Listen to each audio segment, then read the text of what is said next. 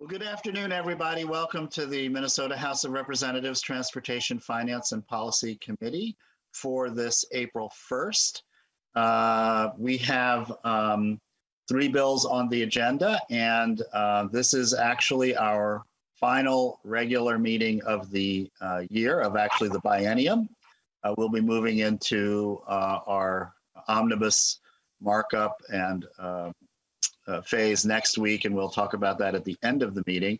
So um, with that, we'll uh, move on to our first item of business, which is the taking of the roll. Mr. Dodge, Chair Hornstein, present. Hornstein present, Vice Chair Koegel, Present. Koegel present, Representative Petersburg, Petersburg present.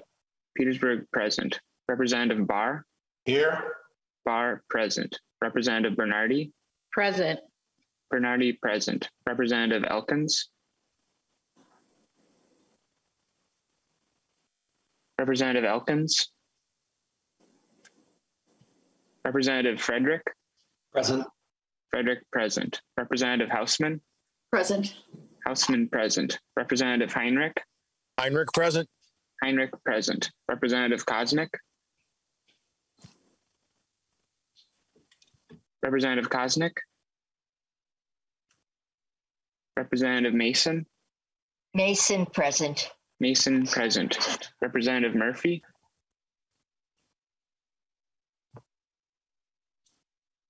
Representative Murphy,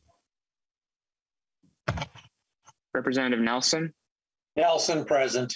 Nelson present, Representative Olson, Olson present. Olson present, Representative Richardson, Present. Richardson present, Representative Torkelson, Torkelson present. Torkelson present, Representative West,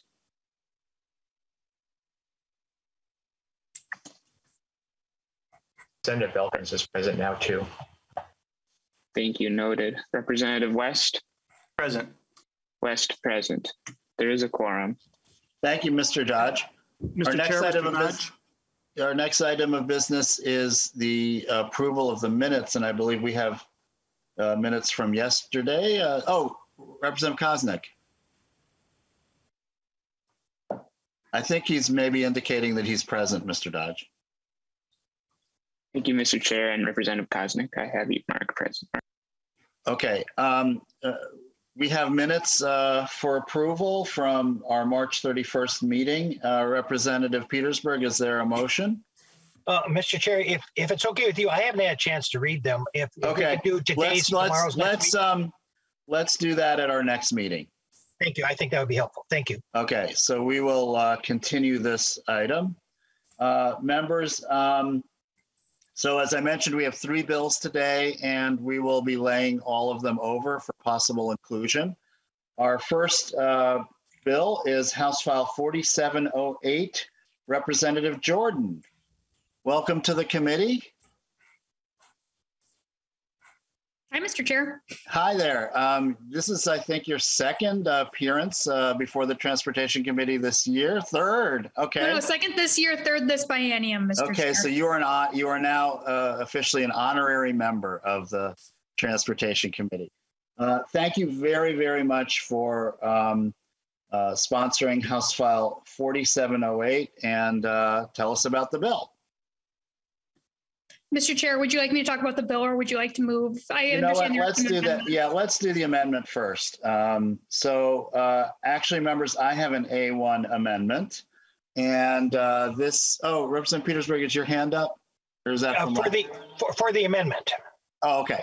Um, Members, this is uh, amendment, it came late, uh, and uh, I did uh, have an opportunity to talk with um, Lead Petersburg this morning about it, but I felt that, that this concept uh, fits very nicely with the theme of Representative Jordan's bill, which is uh, local improvements uh, or or improvements to the local bus system and transit systems.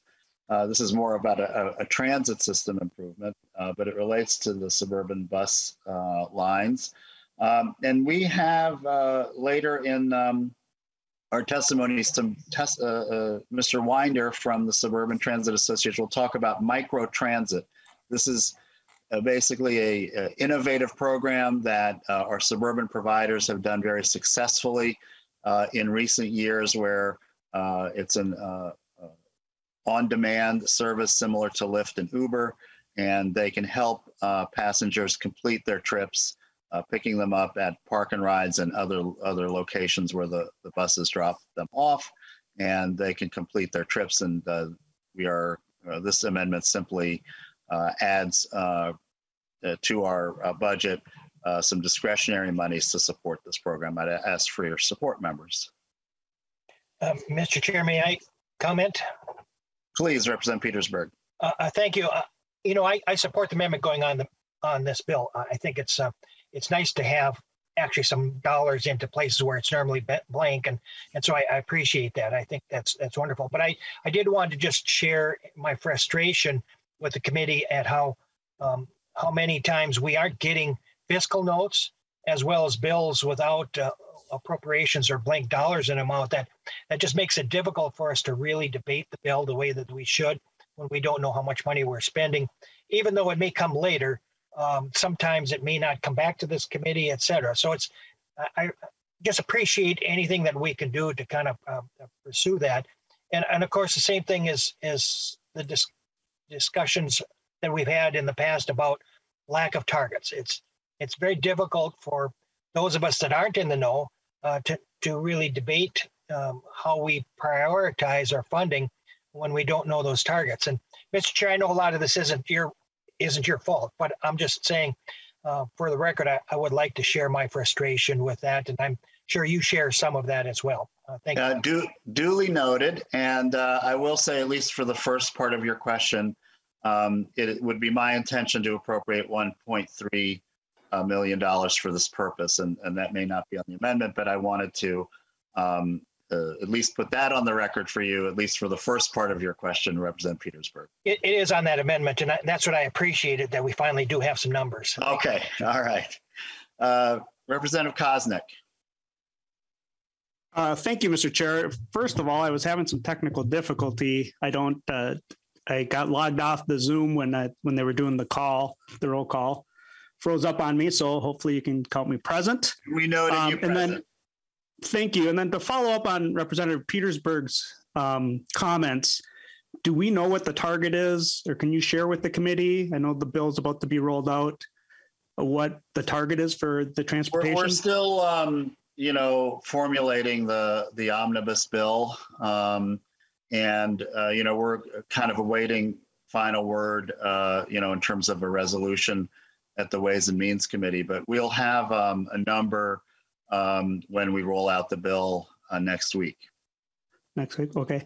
Uh, well, Mr. Chair, the, you know, obviously that's a concern because as uh, we debate these bills and uh, the public wants to know and have some transparency of how their dollars are being spent, um, or if they're going to receive a, a tax refund and reform. But then previous to this committee starting, it sounds like there is an unusual change up in how the conference committees will be organized so that people with very little transportation uh, committee time may be conferees uh, eh, on the stuff and, and same with other committees. And so can you talk about that process a little bit? Uh, we haven't been informed of that. And Oh. it, it's a little concerning as we're trying to, you know, do the people's work and, and uh, have a good discussion on what to do with a 9.3 something billion dollar surplus and how we can return that to taxpayers or uh, others want to spend a lot of that. Uh, can you comment a little bit and enlighten the committee uh, on that conference committee process that was discussed a little bit that we're not aware of? Yeah, Representative Koznick, I am aware that, um, that, you know, there will be, uh, similar to, um, uh, I think in past years, there, there will be some certain committees that will be, uh, paired with, with others and, and, you know, the bills will be, you know, likely combined, but I don't know the structure of the actual conference committees at, at this time. That seems quite unusual. Um, and th- thank you for sharing your, your thoughts on that. But I guess we'll have to wait until the, the majority and uh, leadership uh, enlightens the rest of uh, the legislature and the public and the media, because that's uh, quite unusual way uh, that we have not uh, organized conference committees in the past. And so I think it just unfortunately speaks to a, a real lack of transparency uh, on this whole budget process and begs the question of what the majority is trying to hide. Uh, the spending, uh, I'm guessing. I, I think the question is wide open is, you know, what the majority is trying to hide and why they're not being transparent with the public and with the rest of the legislature. And um, it's shameful. So uh, we'll look forward to learning more, uh, but we would appreciate a more transparent and uh, appropriate process. Uh, but thank you. Mr. Chair, for your comments. Members, I would like to thank you, Representative Koznick. I- I'll call, Representative Hausman is, uh, I- if this is, um, we will take your comments, Representative Hausman, but we, we really need to move on to get to our bills.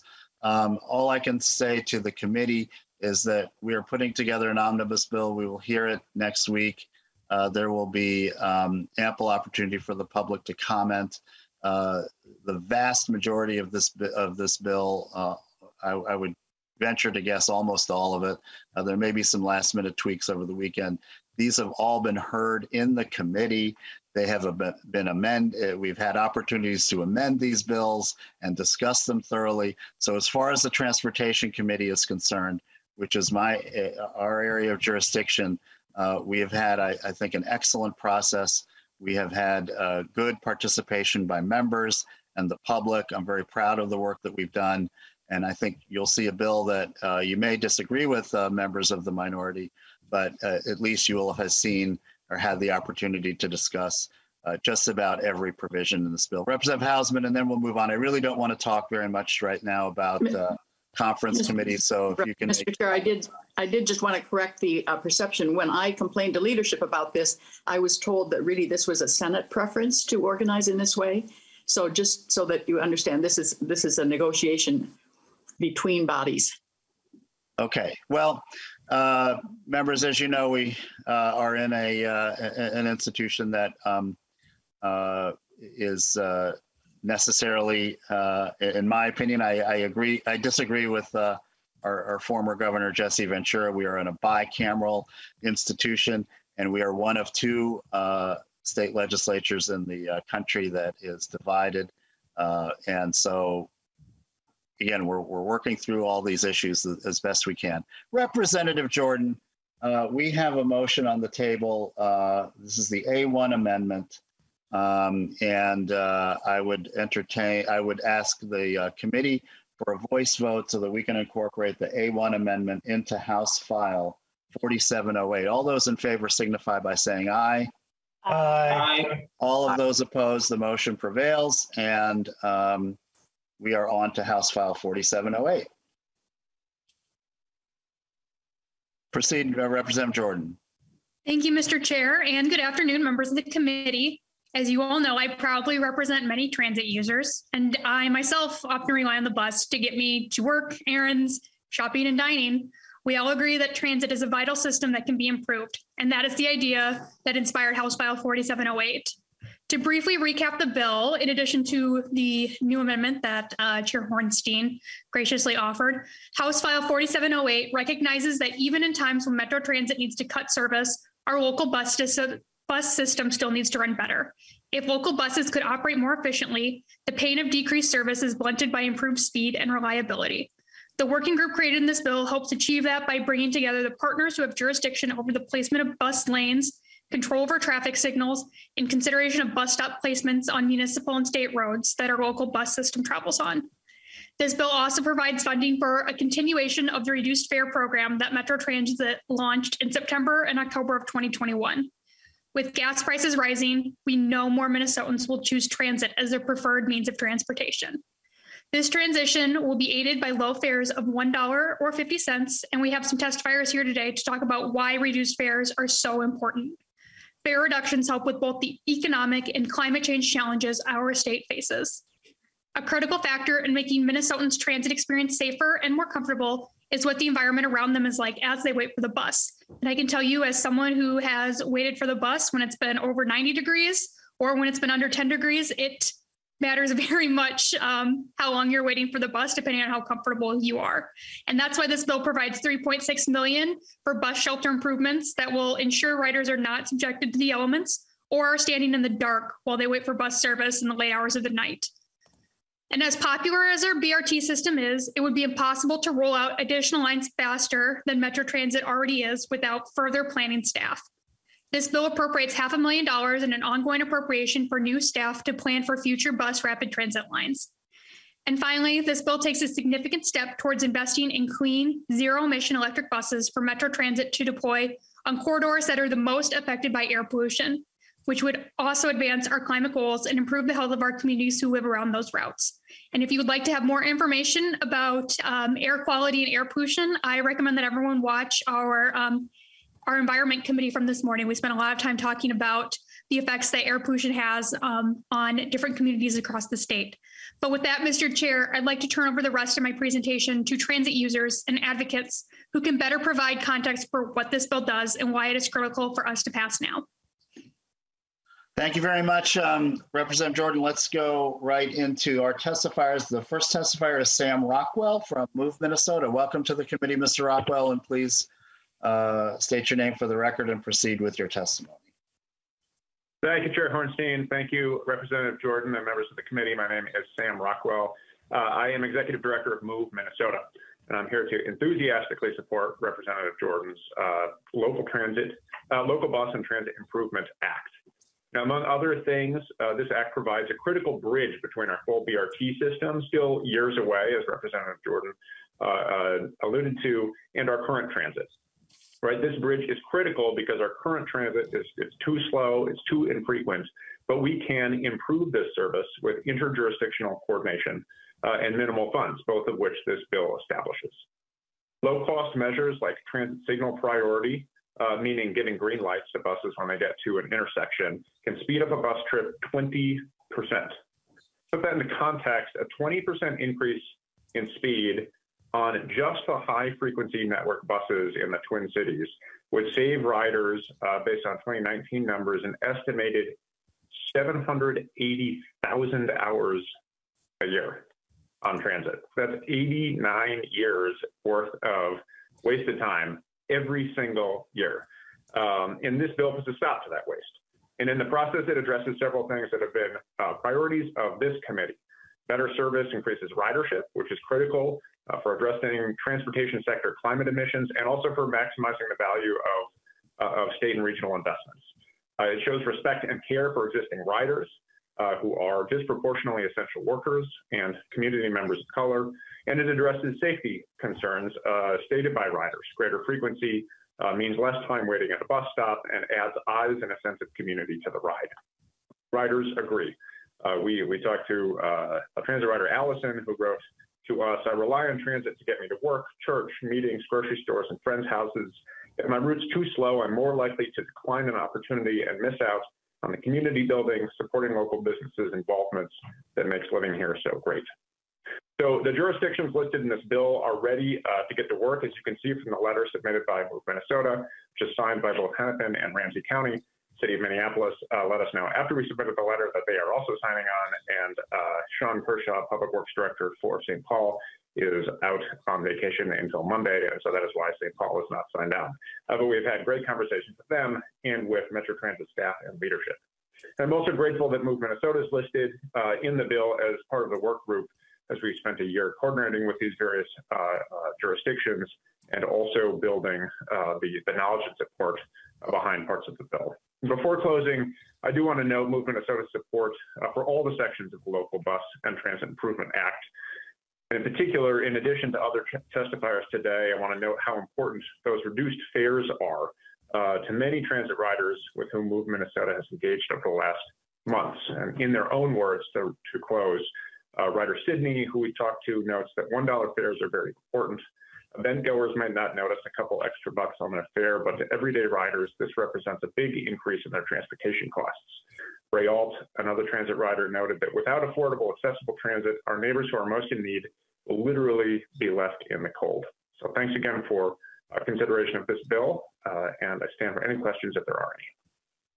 Thank you very much, um, Mr. Rockwell. And I just wanted to personally thank you for bringing some of these ideas uh, to us and um, your work uh, on uh, particularly the signal uh, prioritization issue over over uh, the better part of a year uh, or more. And I would uh, direct members um, to the packets of letters, and there's a, a pretty detailed letter uh, regarding that proposal, uh, in addition to Mr. Rockwell's testimony. So thank you very much, Mr. Rockwell. Our next testifier is Claire uh, uh, Pardubsky. I hope I pronounced that correctly. Um, and uh, welcome to the committee. Uh, please state your name for the record and proceed with your testimony. Thank you, Chair Hornstein. Uh, yeah, my name is Claire Pardubsky. I am a Minneapolis resident in the Prospect Park neighborhood, and I'm also a volunteer here with Move Minnesota and MN350. Uh, I'm a transit user when it works for me, and otherwise, I do drive and bike to where I need to go. I'm also a recent graduate from the University of Minnesota Twin Cities. And before all of that, I did grow up in the state of Iowa, where there is no access to a transit system like the one that we have here in the Twin Cities Metro. Uh, I'm here today to voice my vocal support for HF 4708. Uh, as a student, transit worked for me to get around within about a one mile radius, and I didn't need a car for nearly four years. It was a pleasure to be a student here and fully utilize the system that we have available. I have warm memories of taking the BRT line to the movies with my friends and of walking, biking, busing, and light railing everywhere I needed to be. Um, however, as a graduate, I've quickly learned that the transit system has its shortcomings, and adding further bus rapid transit lines is critical to streamlining our existing transit system and building a more robust system for, um, as, as Sam already mentioned, all of the folks that are using transit on the daily, as well as it is critical for those that are currently driving to easily make a transition to using more transit and making further use of it, even if it's not every day. Um, it's, it's critical to reduce our reliance on self on our individually driven vehicles and uh, switch to more efficient transportation.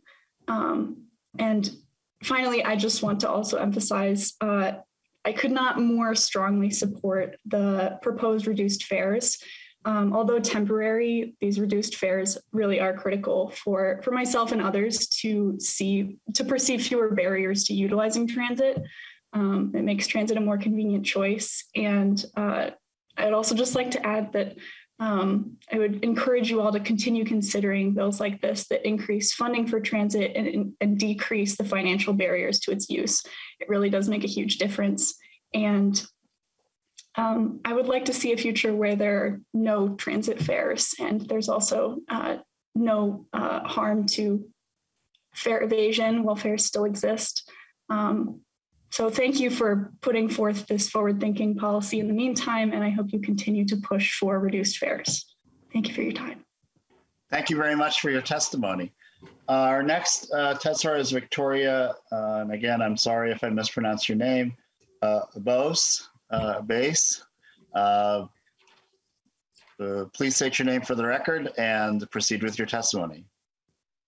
Hi there. Thank you, Mr. Chair. My name is Victoria Bosey. We were close. Yeah. Um, and uh, I'm a transit rider and volunteer with Move Minnesota. And I, am speaking today in support of House File 4708.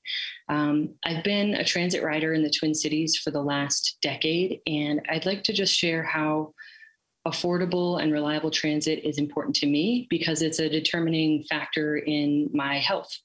Um, years ago, when I was a college student, the only way for me to buy fresh groceries was to ride the 16 bus down university. And I'd typically budget about three hours for grocery shopping because of bus frequency, time in transit, and delays. And although spending three hours to get a backpack full of fresh food or healthy food seems like a lot, it was important to me. And without that direct bus, it would have been much more difficult.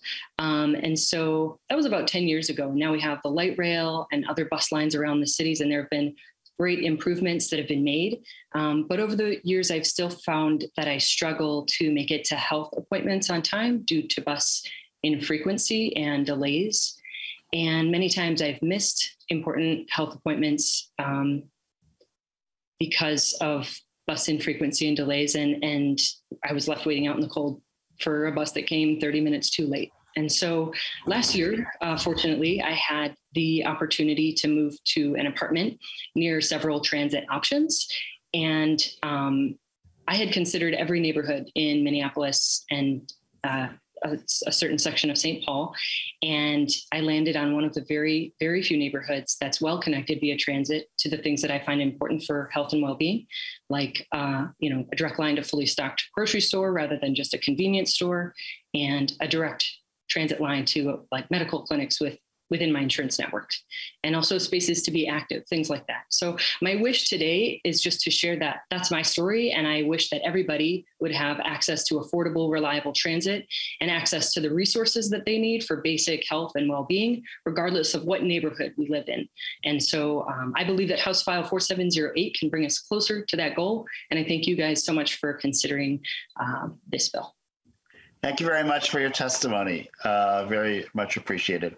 Uh, our next testifier is Zoe uh, Barani. Uh, please uh, state your name for the record. Welcome to the committee and proceed with your testimony. Thank you. My name is Zoe Barani, and I'm here to testify and support um, the House File 4708, the Local Transit Improvement Act. Um, I am an undergraduate student at Augsburg University, a leader with the Young Adult Coalition, and have served the past two years on the executive board of Augsburg Day Student Government as our environmental action officer. So, students at Augsburg understand um, that to address the climate crisis, we need a just transition that puts an end to the fossil fuel era, creates new union jobs, and creates a better life for us all. Students also need um, affordability, affordability and easy ways to get around, which is why annually our student government is putting the majority of our green fee to transit passes for every student. We have stepped up to spend our student money for to fund this. Now we need our institutions within government to also step up and do their part to address the climate crisis and make transit better and more accessible. In the metro area, 47% of transit riders do not have access to vehicles, many of whom are students, including myself. This bill ensures that we have faster, more reliable, and more comfortable options for essential functions such as grocery shopping, events off campus, field trips, and access to jobs off campus that will kickstart our careers. I and other students at Augsburg are excited to see how this bill would make transit and buses work better for students and for everyone with more reliability, capacity, capacity for bus rapid transit lines, and electrification to address climate change. I urge the committee to pass these bill for these reasons. Thank you. Thank you so much for your wonderful testimony. Very much appreciated. Uh, our next testifier, and I haven't done well with names, but I think I'm going to get this one right. Uh, Joshua Houdek from the Sierra Club. Uh, welcome to the committee. Please state your name for the record and proceed with your testimony. testimony. Good afternoon, uh, Chair Hornstein. You did get my name right, and uh, committee members. And happy Friday, happy first day of April, and happy 30 days of biking. Uh, my name is Joshua Houdek. I'm a senior program manager with the Sierra Club Minnesota North Star chapter. Uh, we represent 80,000 members and supporters in every county and every district uh, across our great state. And of course, uh, we're here to support House File uh, 4708, the Local Bus and Transit Improvement Act. Why? Because waiting for the bus is no joke. See what I did there? Sorry. Um, but seriously, we are in a climate emergency and extreme weather events are being experienced all over our state from flooding to drought. And the way so many Minnesotans get to where they need to go is, of course, by driving, which is fueling the climate change pollution uh, in our state and across the country more than anything else uh, is, is transportation. Uh, so we need to make clean transportation choices better, uh, and uh, especially for our shortest and our most polluting trips. So the Local Bus and Transit Improvement Act will make riding transit better. It builds on everything that we know. We know that faster buses on dedicated lanes with signal prioritization that, that Sam talked about are more desirable, they're more convenient, and they're more accessible for more people. We know that better bus stops are not only the Minnesota nice thing to do for people, it's the equitable thing to do for people. We know that making transit fares affordable or even free, like another testifier brought up, makes transit more accessible and it attracts more people to taking the bus or train and leaving perhaps their car at home, especially as gas prices uh, are skyrocketing. We know that zero emission electric buses are clean. They clean the air, they are quiet, they are cheap and easy to maintain. They're going to save us money in the long run and they're better for the climate. We know that the bus rapid transit network with frequent surface service will attract more people to ride the bus. And lastly, we must leverage federal funding for transit improvements so that uh, we can get these improvements that we all so critically need. So thank you for the Local Bus and Transit Improvement Act and appreciate it. Thank you uh, very much, Mr. Houdek. Uh, our next testifier is Eric Berger. Uh, welcome to the committee. Please state your name for the record and proceed with your testimony. Uh, good afternoon, Chair Hornstein and committee members. My name is Eric Berger, and I live in Minneapolis. Uh, I'm testifying in support of Bill uh, HF 4708. I'm a volunteer with the MN 350 Transit Justice Team. Improving Minnesota's public transportation system is an important part of MN 350's goal to reduce greenhouse gas emissions in, in Minnesota to prevent a worldwide climate catastrophe. For a number of years, I commuted to work by car. I wasn't happy about it, but due to limited public transit options, it was really my only choice. I wasn't happy about it because I knew I was contributing to greenhouse gas pollution and because the commute itself was burdensome.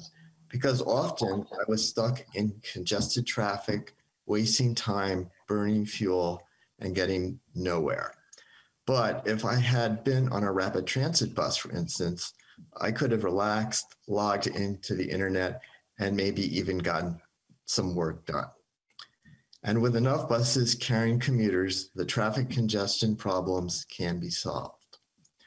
The provisions in House Finding 4708 move Minnesota in the right direction to start making the vision of efficient, non polluting, and reliable public transportation a reality in our state. This is the future of transportation in the age of climate change in our state and in all states. I ask for your support for House Funding 4708. Thank you, Chair Hornstein and committee members for giving me the chance to testify today. Thank you. Thank you. Thank you very much, Mr. Berger. Our next testifier is Adriana Jarab, and then we'll hear from Trevor Turner, Luther Wynder, and that will conclude our um, public testimony on this bill. Uh, welcome to the committee, uh, Ms. Jarab, and please state your name for the record and proceed with your testimony. Good afternoon, Chair Hordenstein and committee members. Uh, my name is Adriana Jarab, and I'm a transit justice organizer for Minnesota 350. I've been looking forward to testifying in support of House File 4708. Uh, as a transit rider myself, and because of my work, I interact with a lot of transit riders. Last fall, along with Move Minnesota, our transit justice team canvassed riders on the Blue and Green Line trains and the 21 and 5 bus routes which are some of the most heavily used routes in the metro. We talked to more than 200 riders, and many of them rely on transit as their primary mode of transportation. Many of the needs that we heard from these riders are reflected in this bill, including the need for faster, more reliable buses, better bus stops, and reduced fares. Last fall's reduced $1 fares were very popular with riders. And when we asked them what would be possible if $1 fares were the constant, some common themes were that people would be able to save money for other expenses or be able to make more trips using transit, including to see their families more often.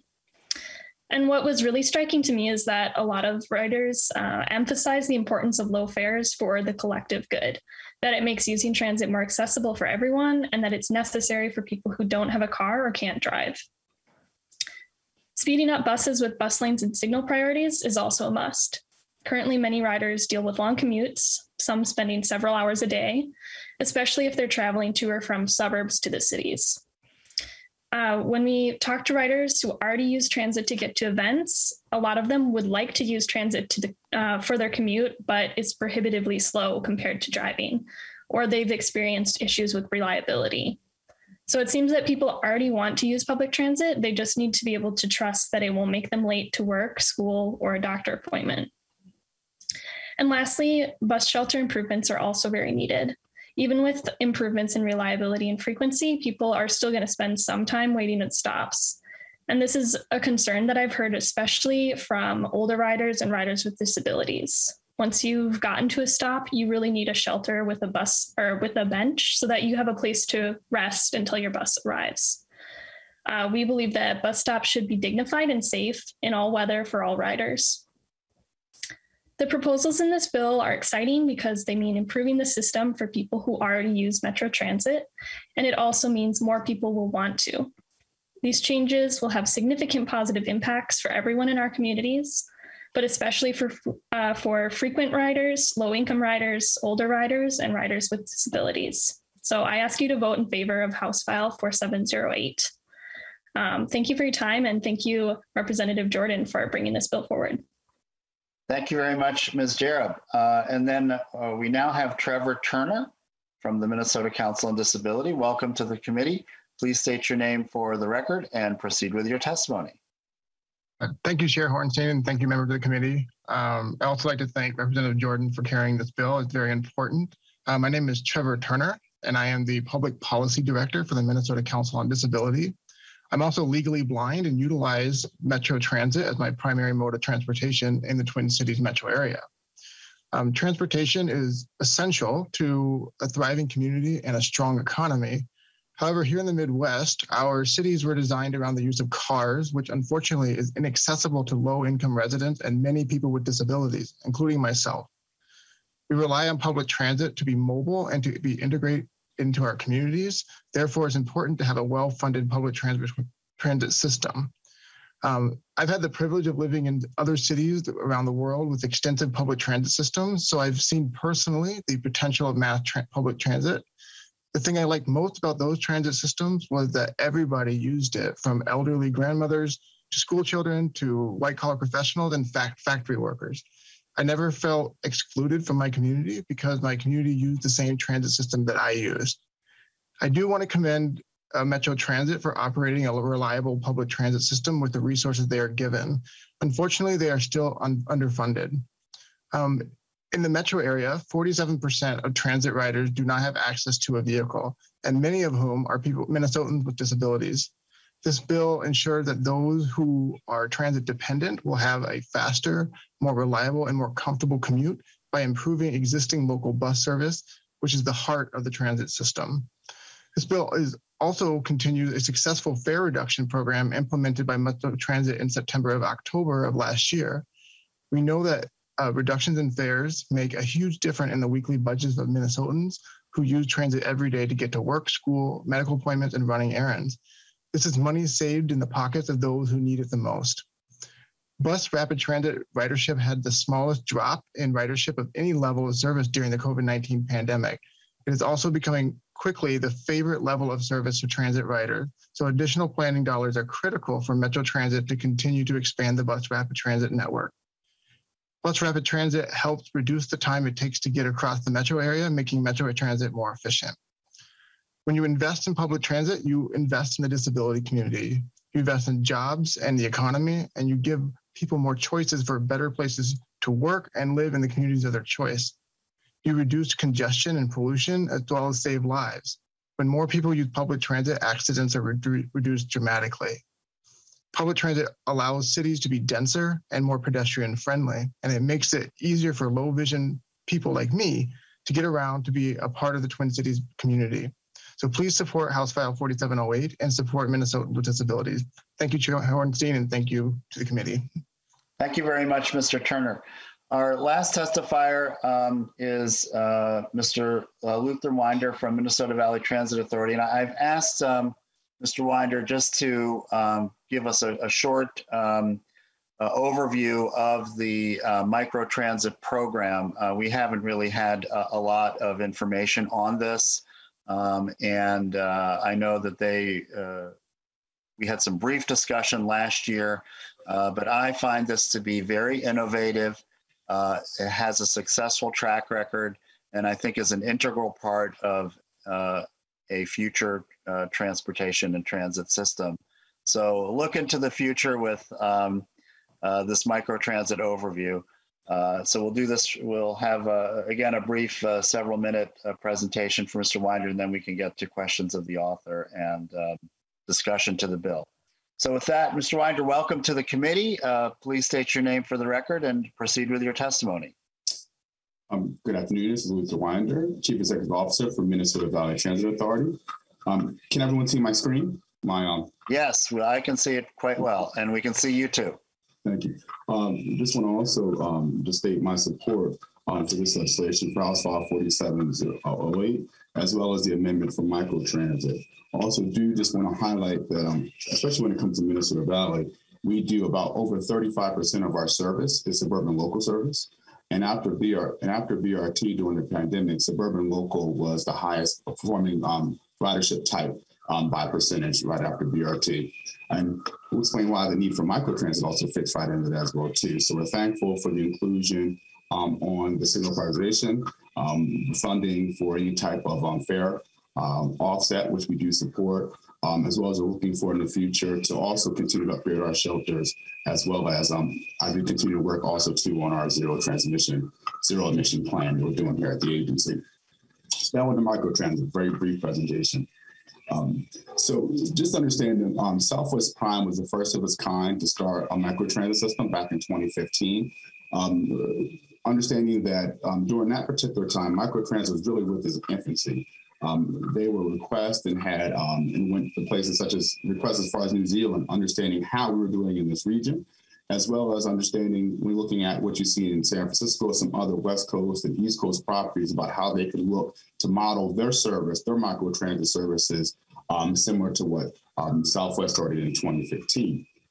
Um, microtransit originally started in, in, our in the suburban communities as really as the first and last mile um, for work commuters but it's grown to mobility lifeline for many individuals living and working in suburbs who have serious mobility needs. Virtually all demographics of segments use microtransit, but it's not emergency medical.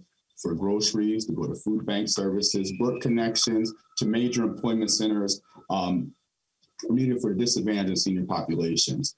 Um, the service operates uh, as um, Representative Winston, and thank you, uh, operates similar to an Uber or Lyft style. Um, customers are able to, unlike with Uber and Lyft, customers are actually able to use an app, but they can also call in and book their, book their trips as well. Um, some of the highlights of microtrans understand the, the, expansion and the growth that we've seen since its, since its introduction. Um, Southwest Prime currently um, is operating at the highest ridership level, even compared to before the pandemic. They've seen a 120 increase in ridership since 2021 and a 337% increase since 2020. Um, Minnesota Valley service we operate, our Connect service, which we operated, started our service in 2019, we've seen 16 months of continuous growth.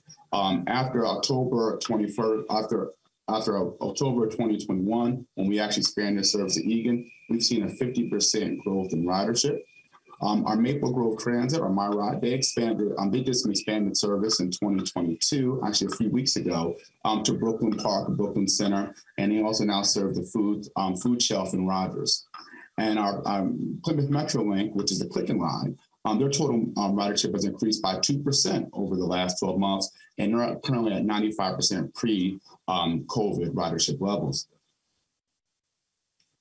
Talking about microtransit, the coverage, um, it goes, I always want to ensure the community understands that it goes beyond our traditional um, STP suburban provider um, service boundaries, really to meet the needs of our customers, the communities within the region.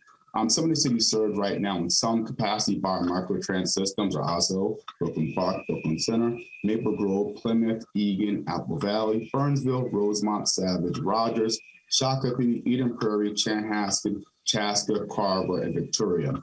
And if you have a conversation with any of the chief executives, including myself, we can give you a host of 10 other cities um, that we that we that we see need to expand to, as well as the increase and expansion of services in our current cities that we currently do serve.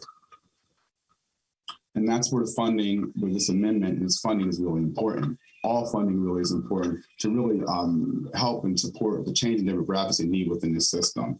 Um, it's important to understand that since 1996, um, there have been about 35, um, 350,000 affordable housing units that have been built in the Twin Cities. 25% of those housing community, 20% of those of affordable housing has been built in our 12 city STA service area. 18% has been built in the core and 57% has been built in the remainder of the region. So that means about 80% of affordable housing is built in um, less dense suburban style, suburban edge um, um, communities where microtransit really thrives and really where we seem to continue to see this need and this growth. Um, additional funding is needed for um, fleet modernization expansion.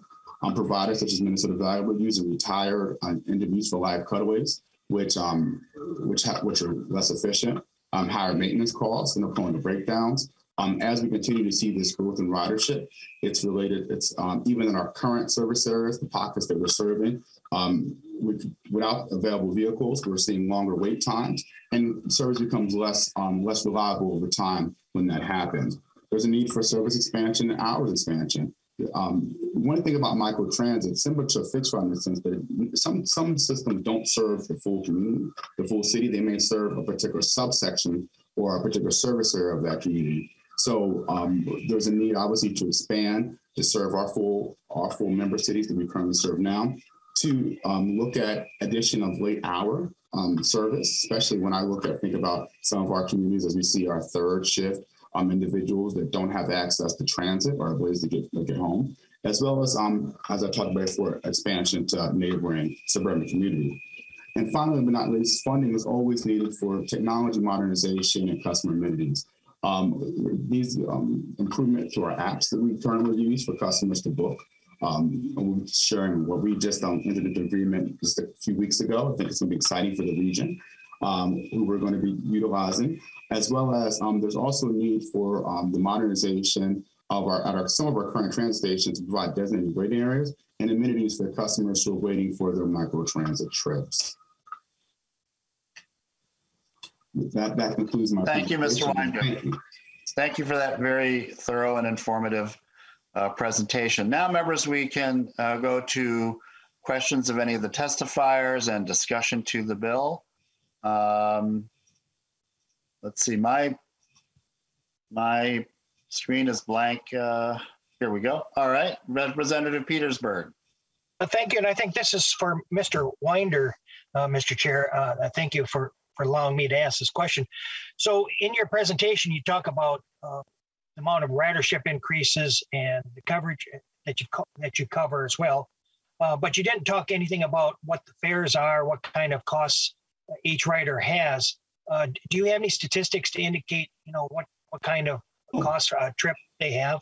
Definitely. Uh, so Minnesota Valley, we charge about four dollars. We charge four dollars each way for fare.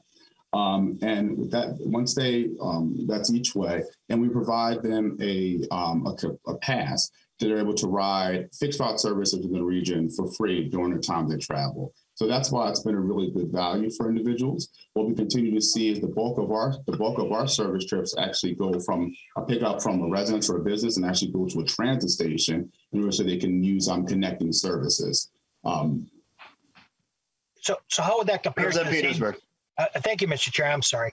Uh, so how would that compare, uh, if you would uh, continue to answer question here, how would that compare to like uh, a pass for a bus and, and the distance that would be traveled in a bus line? Uh, Definitely. So what we what we look at from a fare, um, if you look at express service, um, at off uh, peak is what 325, so about 75 cents more um, that we that we charge obviously for this for this level of service. Um, when it comes to a traditional fixed route, these these trips normally, um, especially when it comes to Southwest Prime, are a lot less than what you pay for Metro Mobility or other demand response demand response um, level serve level trips. Under thirty-five dollars or thirty dollars or less per um, per passenger trip. Um, and it really is though it really is more cost effective than fixed route because you're really serving locations that are less dense. And I think that's why I wanted to allude to when we looked at the affordable housing, the disbursement of how a senior population affordable housing is being dispersed around the region. It's really sometimes in less dense areas where it may not be practical or financially feasible to put a fixed route, a fixed route bus in, um, providing this point-to-point service to connect them to some of the more high frequency stations is the most cost effective. Representative Petersburg. Uh, uh, Thank you, Mr. Wynder, for that. And, and I, I will just ask one question of, of the author or anybody else in regards to uh, uh, this bill and maybe have some questions later. Uh, I understand the need for planning and getting some of these bus routes planned and, and developed earlier. Uh, But I also am very much cognizant of how uh, we fund um, the, the busing and, and trans, transit uh, costs as well. And my, my question is, how does reducing fares when we already have trouble making ends meet in regards to transit, how does that promote planning uh, for future bus routes? Uh, I, I don't get the connection there. So maybe if somebody could kind of explain and help me kind of get my arms around why we want to reduce fares when we know already that the fare is not paying for the cost of operating the bus. Um, Either uh, perhaps Representative Jordan or, or one of the testifiers may want to uh, answer that. Um, Sure, Mr. have- Chair. I can say briefly um, that, and then I think Mr. Rockwell might have better um, numbers than I do. But we want people to take the bus. We want people to have transportation options that are available to them. And a lot of times, people aren't willing to take chances on something unless it's cheap.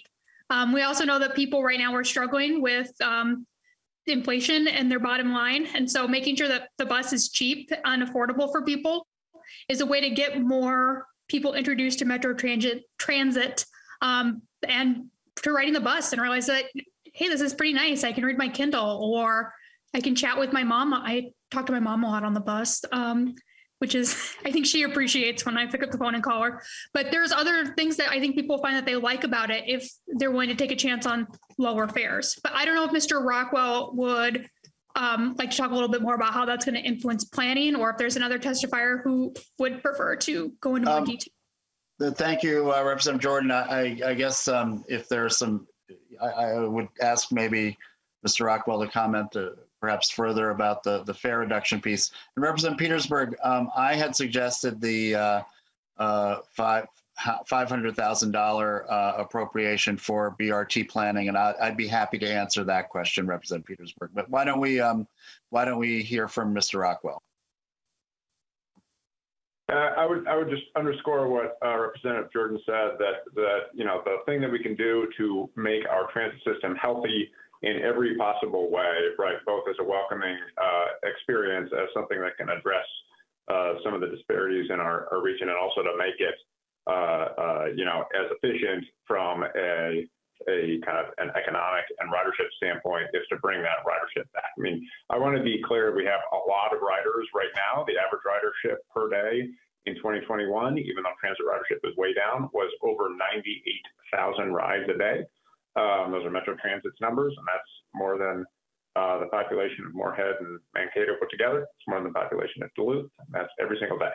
Um, and so there are a lot of transit riders, but we do want to build that ridership back up and be having incentives to bring people back onto the bus um, is is one way of doing that, and then ensuring that the experience that people have on transit uh, is is really good when they do get on the bus is critical to keeping them there. So we have fair incentive, and we have uh, initiatives in this bill uh, to keep them there, and also. Uh, you know, we, we have had some uh, conversations, and, and, and Representative Hornstein might fill this out as well. We've had some conversations with uh, with Metro Transit staff just on being able to fast track the bus rapid transit build out as well. We heard about how well that ridership is going right now. And one of the big things in fast tracking that is having enough planning staff on staff long term at Metro Transit, being able to hire those folks to be able to plan more than one line at a time. Uh, and so that's important to kind of moving this whole thing forward as well. Yeah, and Representative Petersburg, I, I don't think I need to comment further because uh, I think um, uh, Mr. Rockwell uh, addressed this issue of planning, and I'll just say that you know we heard uh, uh, test we heard uh, bills from Representative Hanson for the G line and Representative Jordan for the H line arterial BRT earlier, I believe last month. And um, you know, I wanted to see whether there were some other uh, letters of the alphabet we could uh, get moving on.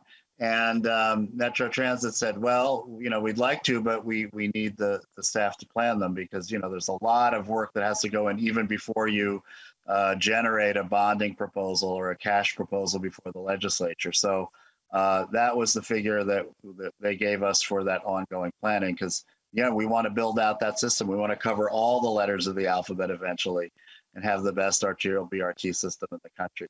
Represent Petersburg, uh, if you have a follow-up, and then Represent Yes, Cosner. uh, uh, uh, Thank you, Mr. Chair, and I'll just have two final comments. Uh, One is, um, so if I understand the way we count ridership, uh, a ride is considered anytime you, you get on a bus or get off a bus. So if you're, if you have to make uh, a transfer um, someplace and then a transfer back, you're actually, your one trip is, is actually four ridership. So, so that makes a- a difference. But what I would comment on is just because we reduce the fares doesn't mean the bus trip is cheaper. It just means that somebody else is picking up the difference. Uh, unfortunately, the state doesn't print money. Uh, it can only pay for things out of what we take away from others. And so whatever whatever the fare doesn't cover, uh, somebody else around you is picking up that tab. And so we do need to understand the need for helping uh, those that, that need help. Uh, but we also need to understand that there are a lot of people that are getting a benefit that could actually pay more for fares. So I'll leave it at that, Mr. Chair. Uh, thank you for uh, letting me talk. Yeah, thank you for your questions. Representative Koznick. Thank you, Mr. Chair. And I, I guess I do want to just quickly recognize uh, our opening comments. I was not um, disparaging your role as, as a chair of this committee being uh, not transparent. I, I appreciate your role and your, the leadership you do provide, even though we have this policy differ- disagreement. So I just want to make that sure uh, publicly known. I don't think you took it that way, but um, wanted to mention that. But I, I was wondering uh, if the author uh, or one of her testifiers, but the what is the uh, subsidy uh, per ride on some of these micro transit rides? Um, I guess that's the question. What, what's the what's the subsidy, the operating loss per ride? Uh, if she probably, I, I'm yeah. guessing, might not know, but Mr. My Wynder, guess is perhaps? Mr. Wynder, Mr. Wynder could probably answer that, Representative Koznick. Should we bring him up? Yeah, that'd be great. Okay, Thanks. Mr. Wynder. Yeah, it, it varies by it varies by its provider, and we can submit information over to you. What we do, um, I heard at Minnesota Valley, we use a bellwether to look at what Metro Mobility's um, average cost per passenger is, and we try to um, match her. We try to match her, um, obviously, not exceed, but be a lot lower than that. So we're, our subsidy per passenger looks anywhere up between thirty-five dollars or under. Um, but as we continue to increase ridership and increase passenger hours, we've seen that growth. We continue to see that number trend, um, that number continue to trend down. Um, but I can get you the information for the other providers as well. But I'm, um, Mr. Chair. Uh, Representative Koznick. Yeah, that, that's great. Thanks. So it's about thirty-five dollars a ride, if I heard that correctly, or under is the operating loss. No, per hour. About, we're looking at passengers, but we're looking at from a, from subsidy from per hour standpoint.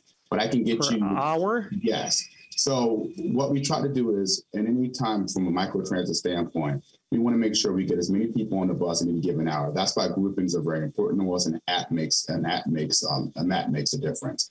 So if we're able to do more passengers, just like in subsidy per passenger, when it comes into a when it comes into a fixed route standpoint. So our standpoint, when we look at it, we look at it from an hour, um, and for for and sometimes via passenger. Southwest Transit, I think, from my understanding, they're about under twenty five dollars. Um, we've been under thirty-five dollars um, at any given time. Um, Metro Mobility, I think, uh, um, last time, this is off my head, was sixty dollars. But I can get you all of that and, and, and get that submitted to you to make sure those numbers are accurate. Mr. Chair. Uh, Representative Koznick. Okay. Well, thank, thank you. That was informative. So it's per uh, thirty-five dollars per hour loss or so. But uh, I understand. So you're saying that is it, so it is more expensive than Metro Mobility, which I think you said was twenty-five dollars per No, hour. Metro Mobility is sixty dollars. Oh, 60. Okay. 60, six oh. Okay, interesting. Okay. Um, and then, Mr. Chair, I guess I would, you know, this is a interesting discussion as we always have here in transportation. And I'd remind the committee and the public that a couple of years ago, there was an amendment uh, in, in the transportation committee to have uh, free ridership. And it, it was, I, I don't think anybody voted for it because we all understand that there, there comes a cost with that. Somebody's got to pay for it. There is no free rides. There's no free lunch. And if I remember, it was like $13 million, or maybe that's even low, uh, per year as an operating um, loss to Met Council. Um, I double checked that number. Maybe it was 130 million. I, I don't remember. But the point is, is that everybody in the committee understood that the even the the, the fare box recovery and the fares that people pay uh, are a necessary part of the transit system. And when we reduce that, we exacerbate that problem even more. And so I, you know, somebody's got to pay somewhere. And what I'm hearing is that uh, all these testifiers, they just want somebody else to pay. And out of uh, the surplus, uh, now they're seeing it uh, as an, an opportunity to have somebody else pay even more. Um, I would also remind them, as I've asked on the Met Council about this, uh, you know, for youth and, and seniors, uh, you can get a $1 ride in Metro Transit right now. And during rush hour, it's only $2.50. If you want to ride the express bus during non-rush hour, it's only a dollar as well. Um, and if you have uh, persons with disability, rides are a dollar all the time for regular and express routes. So we do have mechanisms in place uh, to help offset uh, those that need uh, those uh, that need a, even a little bit extra help. So um, I, I appreciate the conversation, but uh, we've we've had it before, and it, uh, I don't believe that this bill has a Senate companion either, and so I, I just don't see this going anywhere. Uh, but the,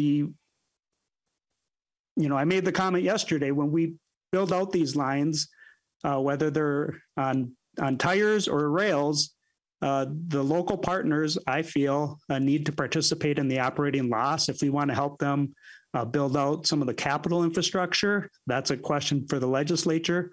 But I think the legislature and the state of Minnesota should move to a mode where the operating losses are borne upon those local partners that want this service uh, so much more uh, and uh, would help our, our state budget so that we can provide relief for people that are face, facing inflation, uh, whether it's in gas or food, where they can educate their kids and and do it that way instead of continuing to grow and grow government more. So uh, thanks for the discussion, but I don't see this as going anywhere.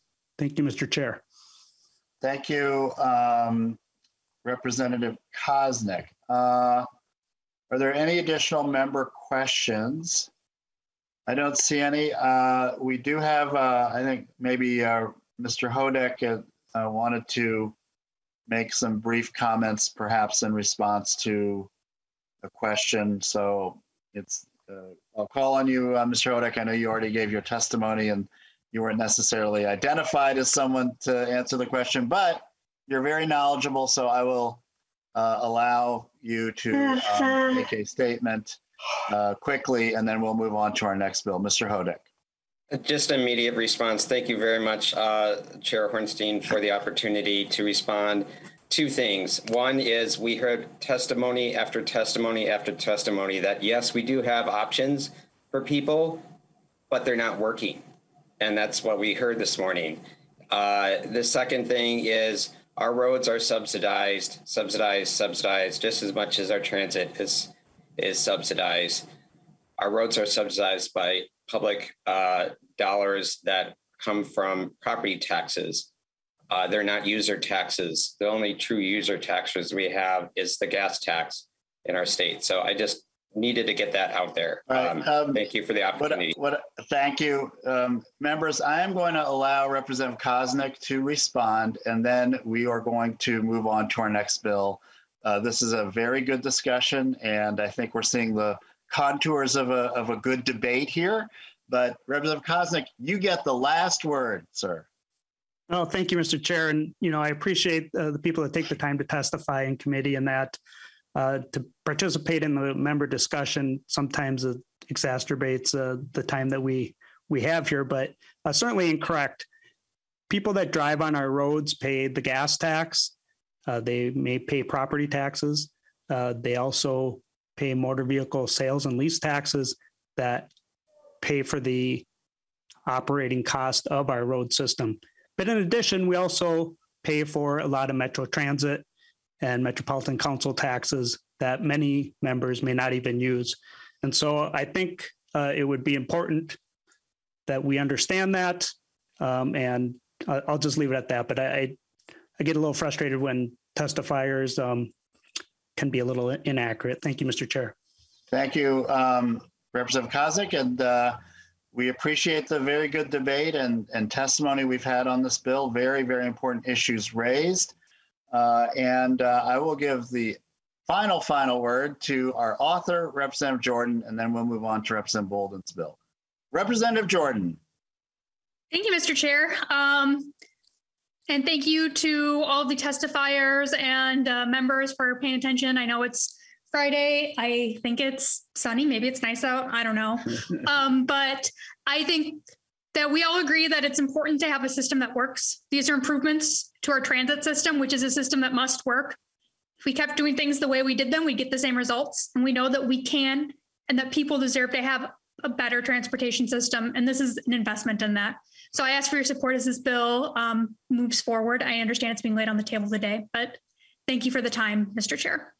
Thank you for um, this excellent bill, Representative Jordan, for all of your work on transportation and transit issues, and uh, much appreciated. And we are laying House File 4708. We're laying it over for possible inclusion in omnibus transportation bill.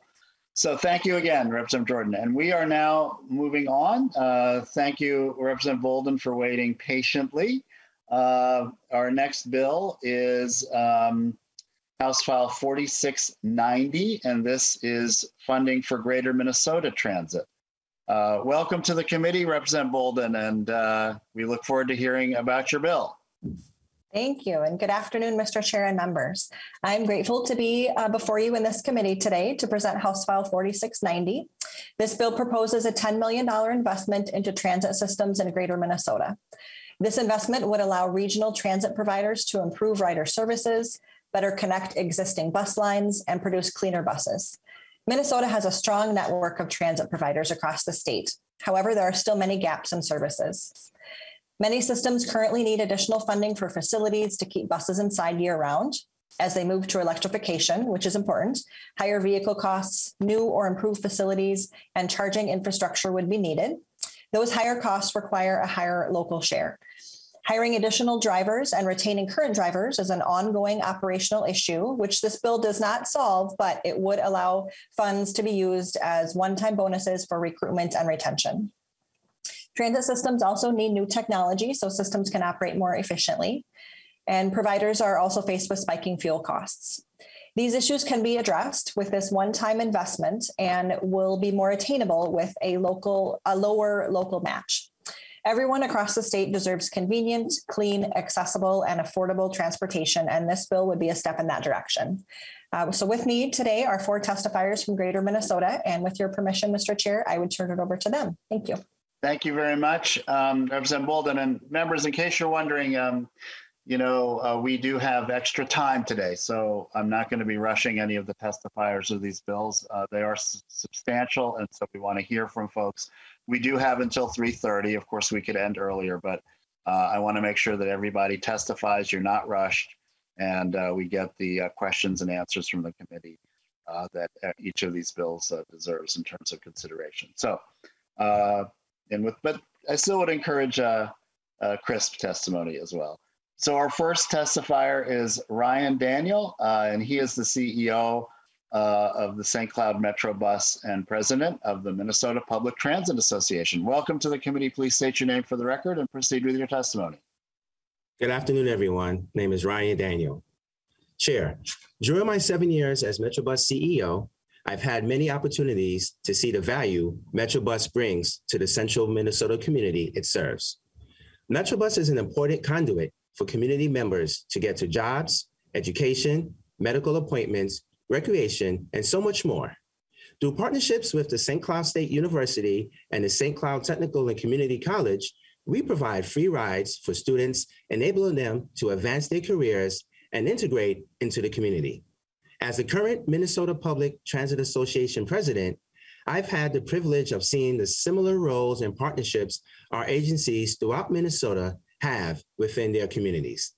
However, not all transit systems have the same level of local resources.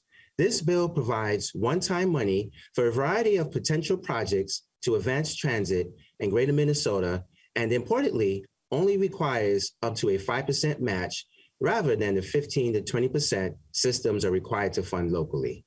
Despite the incredible importance of public transit agencies within their communities, we are dealing with many challenges, including delays in receiving new bus orders to replace old vehicles and or expand service, resulting in increased maintenance costs. Increases in costs for everything from fuel to new parts and equipment to communication and marketing resources for customers. In addition, the driver shortages are taxing current workforces and creating situations where it is necessary to reduce service. I will use the circumstances at Metrobus as an example of what many transit agencies are experiencing. Metrobus has consistently had nine to 12 fixed route city bus openings and six to seven Dial-a-Ride paratransit small bus openings since October of 2020. Fixed route has a total of 65 positions, equating to 13 to 18% unfilled positions. Dial-a-Ride has a total of 31 positions, equating to 19 to 23% unfilled positions. To combat these shortages, we are constantly innovating and developing new initiatives to bring in employees. New programs and campaigns include $1,000 hiring bonus implemented in 2021 and paid in increments over the first year of employment. Creating a paid CDL training course, allowing us to hire future bus drivers without CDLs or CDL permits. Holding hiring open houses to bring in candidates and immediately get them into the hiring pipeline. Numerous digital, social media, and print and billboard advertising campaigns exclusively promoting employment opportunities at Metrobus. While many of these initiatives have been successful, applicant pools are extremely low and we continue to see resignations and or retirements roughly matching the number of new employees we are able to hire. Most of our rural transit systems do not have the financial ability to provide hiring bonuses to recruit and retain drivers or staff to develop marketing campaigns or resources to implement them. Many of their budgets will suffer under the increased fuel costs and now the 30% increase in vehicles already on order. As we seek to move to cleaner buses, the cost of those buses are more significant and they are the infrastructure costs that go along with that. This bill with one-time money will help many systems, particularly with the low match. Thank you for your consideration. Thank you so much, um, Mr. Daniel, for your testimony and your work in St. Cloud. Much appreciated. Uh, our next testifier is Nick Lemmer, the uh, Communications Director for the Rochester Public Transit System. Welcome to the committee. Please state your name for the record and uh, proceed with your testimony. Chairman Hornstein and members, my name is Nicholas Lemmer. I'm Communication Coordinator with Rochester Public Transit and currently serve as the Treasurer for the Minnesota Public Transit Association. I'd like to begin by thanking Representative Boldon for authoring House File 4690 and also thank the Chairman and members for inviting me to appear before you today in support of it. Rochester Public Transit, like many transit agencies in the state, is in a situation where we are able to fund operation, thanks in part to federal emergency aid, but are, but are in a more tenuous position regarding our capital investments. As you know, small transit uh, agencies like ours are required to cover 20% of the cost of their operations with local sources, such as fare revenue.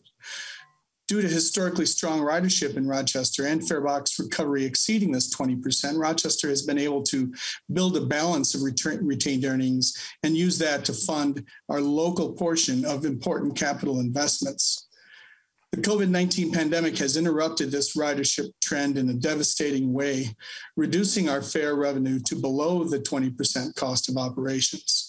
This has triggered a domino effect by threatening to deplete our retained earnings limiting our ability to address the backlog of capital investments and slowing the pace of us implementing important technological and sustainability improvements. So one-time grants will provide us with the strategic capital funds to help win back passengers we once counted as loyal customers, to meet the growing commuting needs of our local workforce, and to provide an essential service to the many transit-dependent individuals in our community. People like Amina, a new US citizen who uses public transportation to get to work and school. She's no longer dependent on others and is enjoying her freedom as a new citizen and her independence and ability to navigate our city. And Marcus, he's working to complete his GED. He can now attend school while working and uses the opportunity on board to study while he rides. Transit is improving his classroom attendance and it's allowing him to improve his life. Just last week, Rochester Public Transit took delivery of two battery electric transit vehicles manufactured right in St. Cloud, Minnesota. The bill before you will help us continue to make strategic investments in technologies and facilities that will help us sustain this momentum towards a cleaner, more sustainable, and user-friendly service. Members of our statewide association have also described challenges they are facing in greater Minnesota. We hear about agencies who pass up state and federal grant opportunities because of an inability to come up with that required local matching funds. Like Rochester, they have aging vehicles and other capital needs that might otherwise go unmet. House File 4690, by providing a one-time opportunity to invest in capital projects with a lower, lower required local contribution, has the potential to make a significant impact on the lives of those who depend on transit in greater Minnesota. It will allow small agencies who've thought about cleaner and more sustainable operations take that first step. Members, I truly believe this one-time investment will have a lasting impact on the viability and the vitality of public transit in greater Minnesota. I sincerely thank you for taking up this legislation before you and for the opportunity to speak in support of it. Thank you very much, Mr. Lemmer. And our next testifier is Jim Walter, Director of Rolling Hills Transit. Welcome to the committee and please state your name for the record and proceed with your testimony. Thank you, Chair Hornstein. Yes, good afternoon to all. Uh, my name is Jim Walter. I'm the transit director for um, Rolling Hills Transit. And Rolling Hills Transit is a transportation program run by SEMCAC. SEMCAC is located down in Rushford, Minnesota. It's a community action agency been around since 1966. Um, our transportation, we strive to provide the necessary transportation using both a public transit um, uh, demand response as well as a volunteer uh, driver-based um, rides. We operate in southeastern Minnesota. The public transit operates in Dodge, Olmsted, Winona, Fillmore, and Houston County. And then our volunteer driver additionally to those two is in Waseca and uh, Steele County. Primarily rural, we're operating in, uh, you know, cities Houston, uh, Hayfield, Rushford, Mantorville, uh, Mantorville, cities around 100,000 or excuse me, 1,000 in population, as well as Dodge Center, Spring Valley, Caledonia, St. Charles. They're in the 2,700 to 3,500 people uh, population base. And then our largest areas of service is in Byron, Kasson, and Stewartville, where it's about uh, 5,500 to 6,500. So we're truly operating in an area of rural populations there. We currently have um, 15 vehicles, and these, uh, you know, spread out over that um, five county area. Our, our volunteer driver program, we have 62 volunteer drivers they log on average about 22,000 hours, a little over almost 23,000 hours a year in volunteer hours, um, giving about uh, 13,000 trips a year and logging just under half a million miles a year. The public transit side of it, we operate about uh, 55, 53 to 55,000 a year in, in rides we um, do annually there um, as well as we have a um, our facility here that I'm at in Kasson is where that's operated at. Uh, that we house the administrative part. Uh, um, housing for half of the fleet is here, and then the rest of the fleet is out and about in the other um, uh, counties. But uh, this bill, some of it where I see this one-time appropriation is kind of the, the challenges of a local match. We operate under a 15% local match. Now, currently, that's been improved because of funds, you know, federal funds. We're a subrecipient through the state. So federal funds come in and uh, our, our local match has been alleviated through to this year. But uh, on a typical year, we're looking at a 15% local match.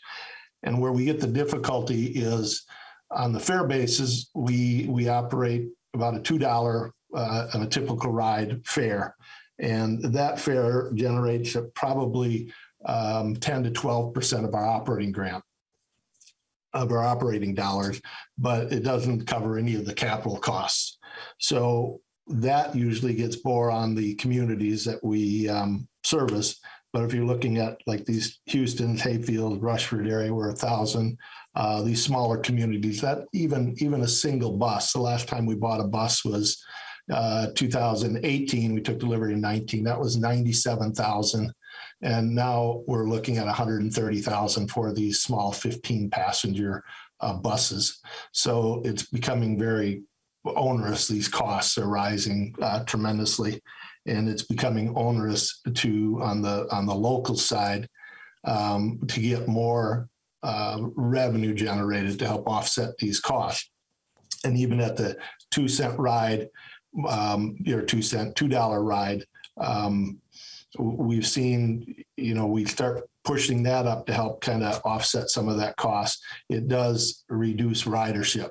And primarily who we're covering here in, in our service is about 30%, or excuse me, 50% of our rides are children that would be uh, preschool. So we're helping out young families getting their kids into school.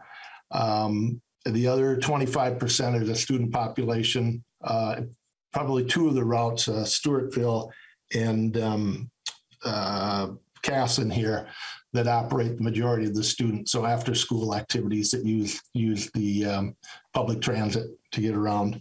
And then about 25% of our, our ridership is elderly, rural elderly.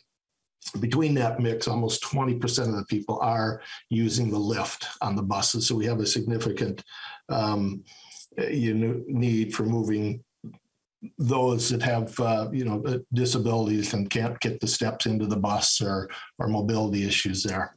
So the um,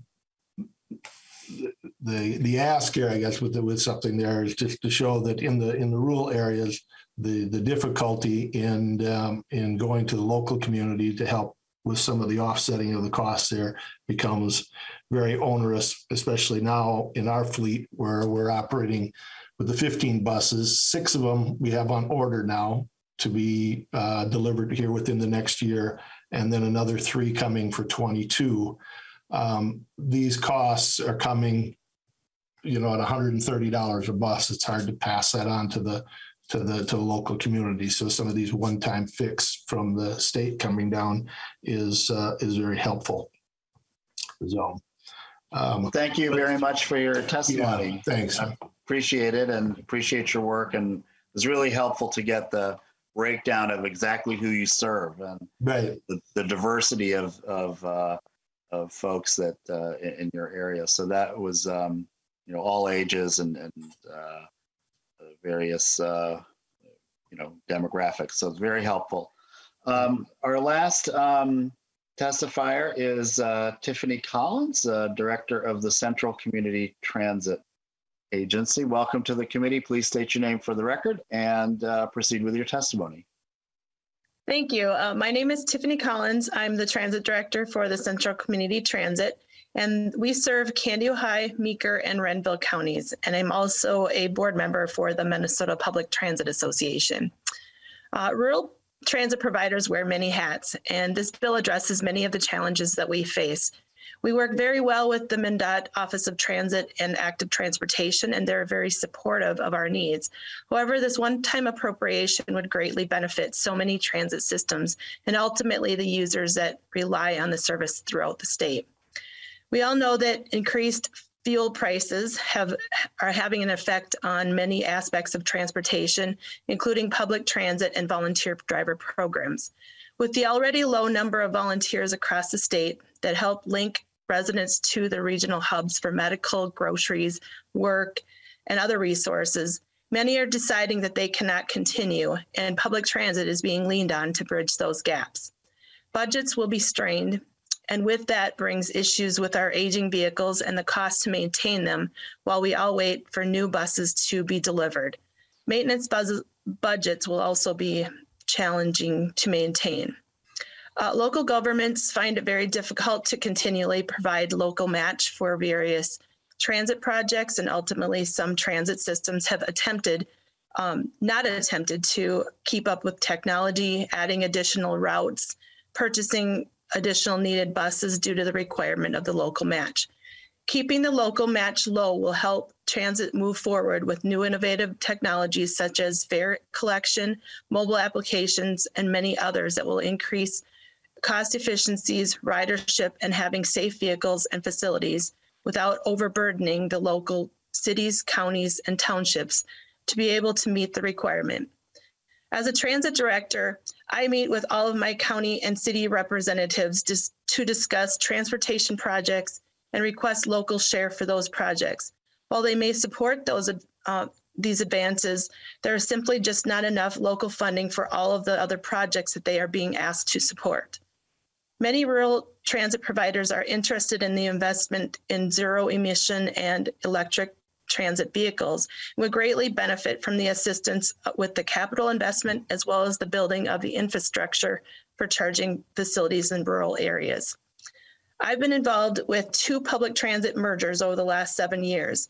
We know uh, the need and the value of providing transportation from county to county. And the public needs options to be able to get to where they need to go when they need to get there.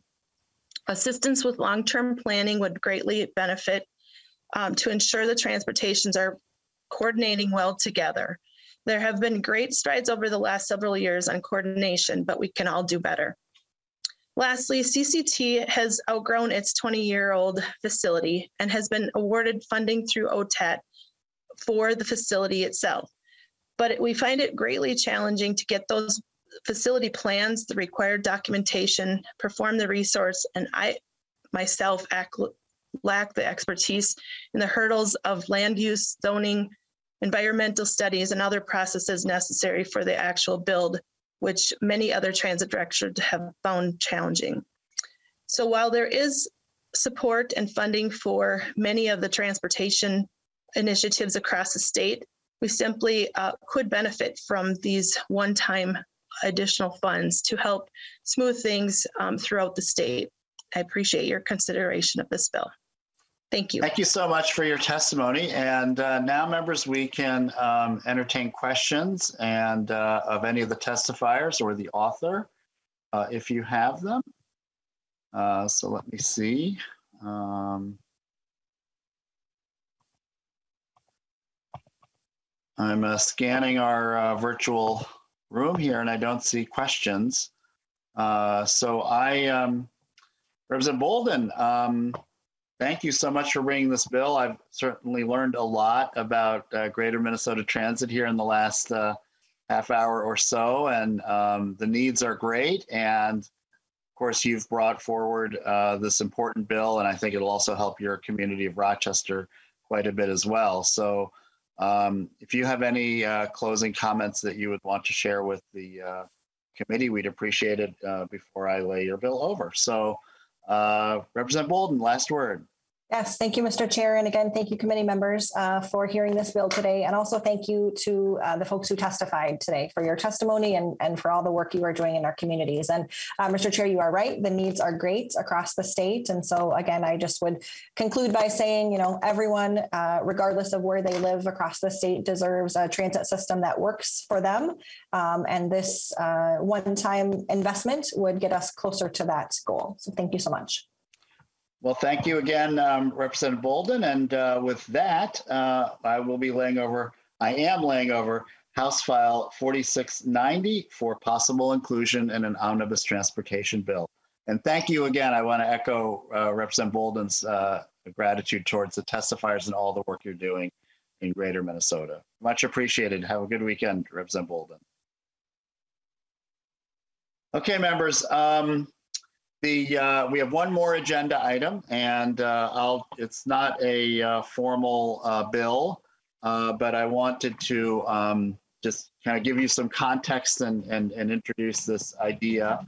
Um, and, uh, would be helpful, for the committee to, um, respond and, and give some advice and subject, some suggestions. Um, this item, is a proposal that came to us very recently uh, through the governor's revised supplemental budget recommendations. And uh, this would establish a traffic safety advisory council.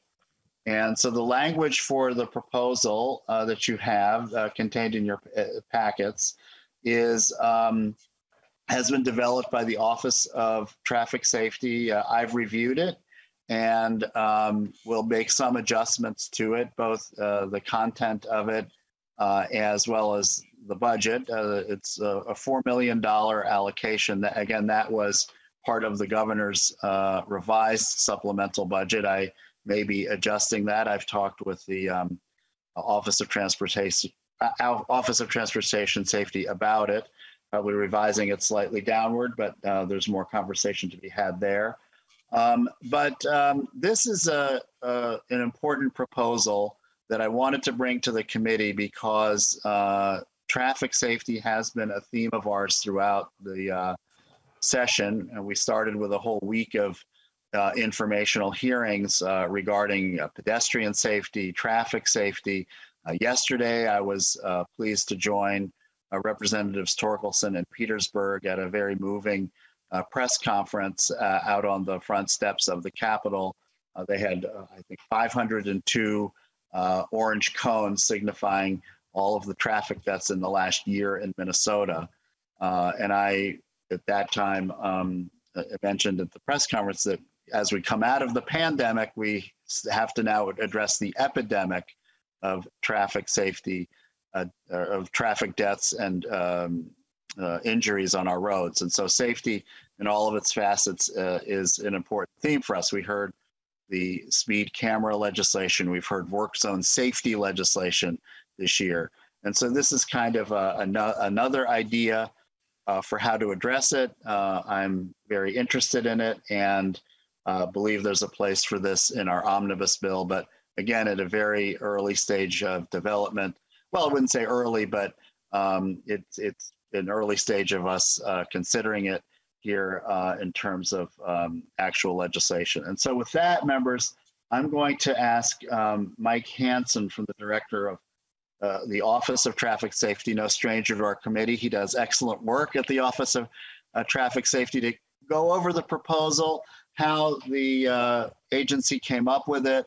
Uh, I think it was in part due to our hearings, which that makes me feel that we're onto something.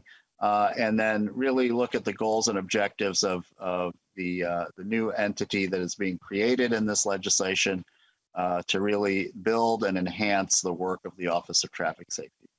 Uh, so with that, um, members, I would just like to call on uh, Mr. Hanson and he can go through this proposal for us. And again, very interested to know how the committee feels about this once um, Mr. Hanson is done. We also have Brian Sorensen available for questions. He is the state traffic engineer at MnDOT. So with that introduction, Mr. Hanson, welcome back to the committee. Please state your name for the record and uh, proceed with your testimony. Thank you much, uh, Mr. Chair. My name is Mike Hanson, and I have the privilege of serving as the Director for the Department of Public Safety's Office of Traffic Safety. And uh, Mr. Chair and committee members, I, I really want to, uh, first of all, thank you for giving me some time this afternoon to bring forward to you what I think is a very important proposal, uh, particularly uh, at the point in time that we find ourselves uh, in Minnesota and really across the country when it comes to some of the traffic safety issues and challenges and tragedies that we're facing. Um, Mr. Chair, you you very succinctly pointed out, you know, the the real nexus or the the creation point um, for what we're going to discuss today is 502. That's that's a number of fatalities that we haven't seen since at least 2007. Um, one fatality is is too many, but 502, it's it's beyond unacceptable. I, I just I, have run out of adjectives to uh, describe some of the horrific tragedies that are taking place on Minnesota roads. So as a result of, uh, you know, over the last two years, we've seen a 37% increase in the number of fatalities taking place on our roadways. And these are on the state highways, these are on the county systems, these are on the city systems, and they're on our township roads. And they're not just in the metro, they are statewide uh, we, where we are seeing these significant increases. And so for the last two years, we've worked very hard to try and find ways to address this epidemic uh, within the pandemic of our roadways. Um, it seems, uh, you know, when this COVID challenge came along, uh, COVID brought his evil brother, uh, the bad decision maker, aggressive driver with him.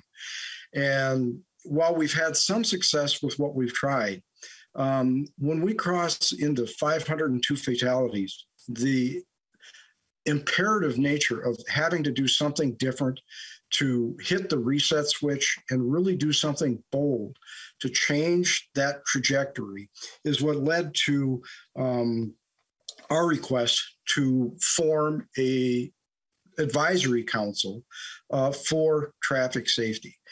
Um, in 2003, the Towards Zero Deaths program uh, was started in Minnesota and has quickly spread statewide. And we've seen a number of really good, successful initiatives uh, come out of that, really from all four of the E's that are involved in that, from enforcement to engineering practices to education and outreach efforts.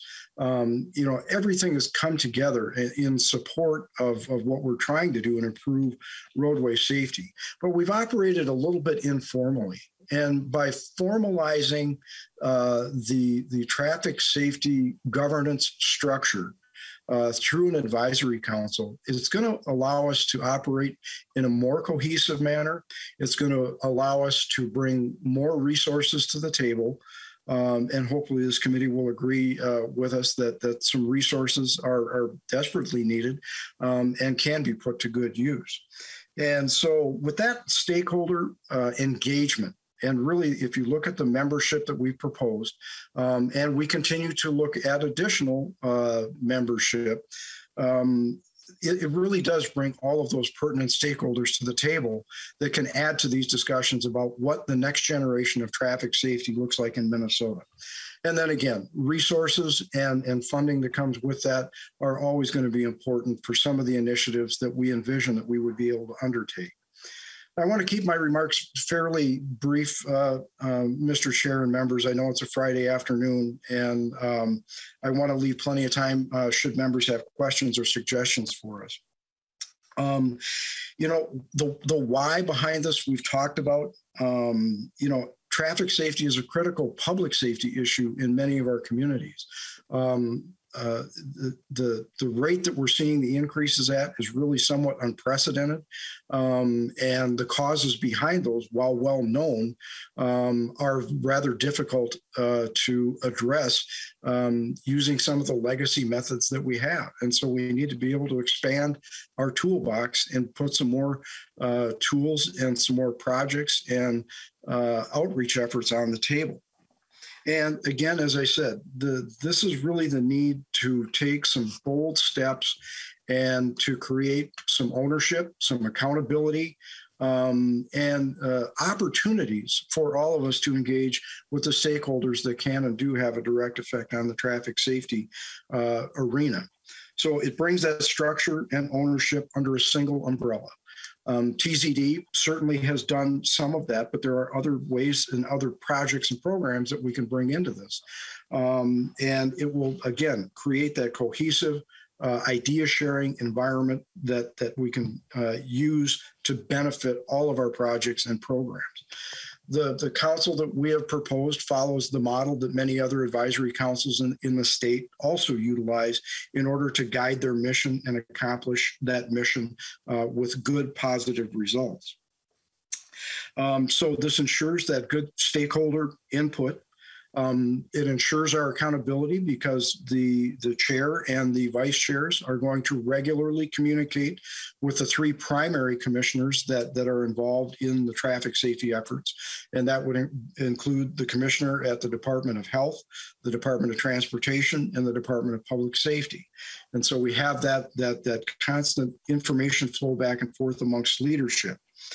It demonstrates commitment to traffic safety on, on, on the side of the legislature, on the side of the governor, and on uh, the side of all of us who are traffic safety practitioners by, by memorializing and formalizing a traffic safety advisory council in statute. Um, that demonstrates a clear commitment to making sure that Minnesota's roads are safe for every user, every day, every trip, all the time nobody should be afraid to take a trip, you know, whether it's to church, to the grocery store, or to the cabin up north, uh, because of some bad drivers out there. We know how to address those. We just have to find the rest, the right strategies to do that.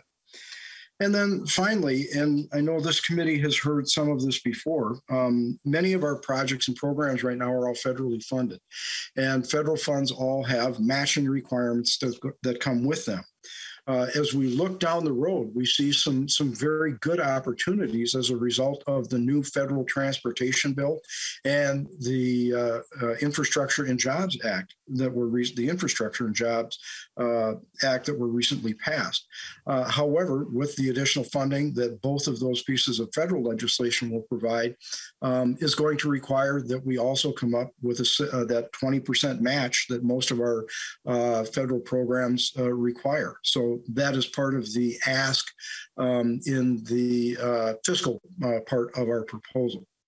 So um, I, I, know everybody has uh, committee members uh, have the one pager that was prepared, and that goes into a little bit more detail than maybe some of my comments did. But uh, again, Mr. Chair, with respect, wanting to be respectful of your time and the committee's time, I'd like to uh, uh, again turn it back to members for questions and and suggestions and thoughts for how we can make this work or how we could make it work better. And again, thank you for your time today, Mr. Chair. I really appreciate that. Thank you, Mr. Hanson. And uh, members, I'm, we will be making adjustments. What, what you have before you is not the final version, uh, but we would like your ideas and suggestions for that. Um, so um, let me just scan the room. Representative Petersburg, I see your hand is up. Yeah, thank you, Mr. Chair. And, and I appreciate uh, this because I, as you know, I was there with you too. I really am concerned about safety because I do believe that people take for granted.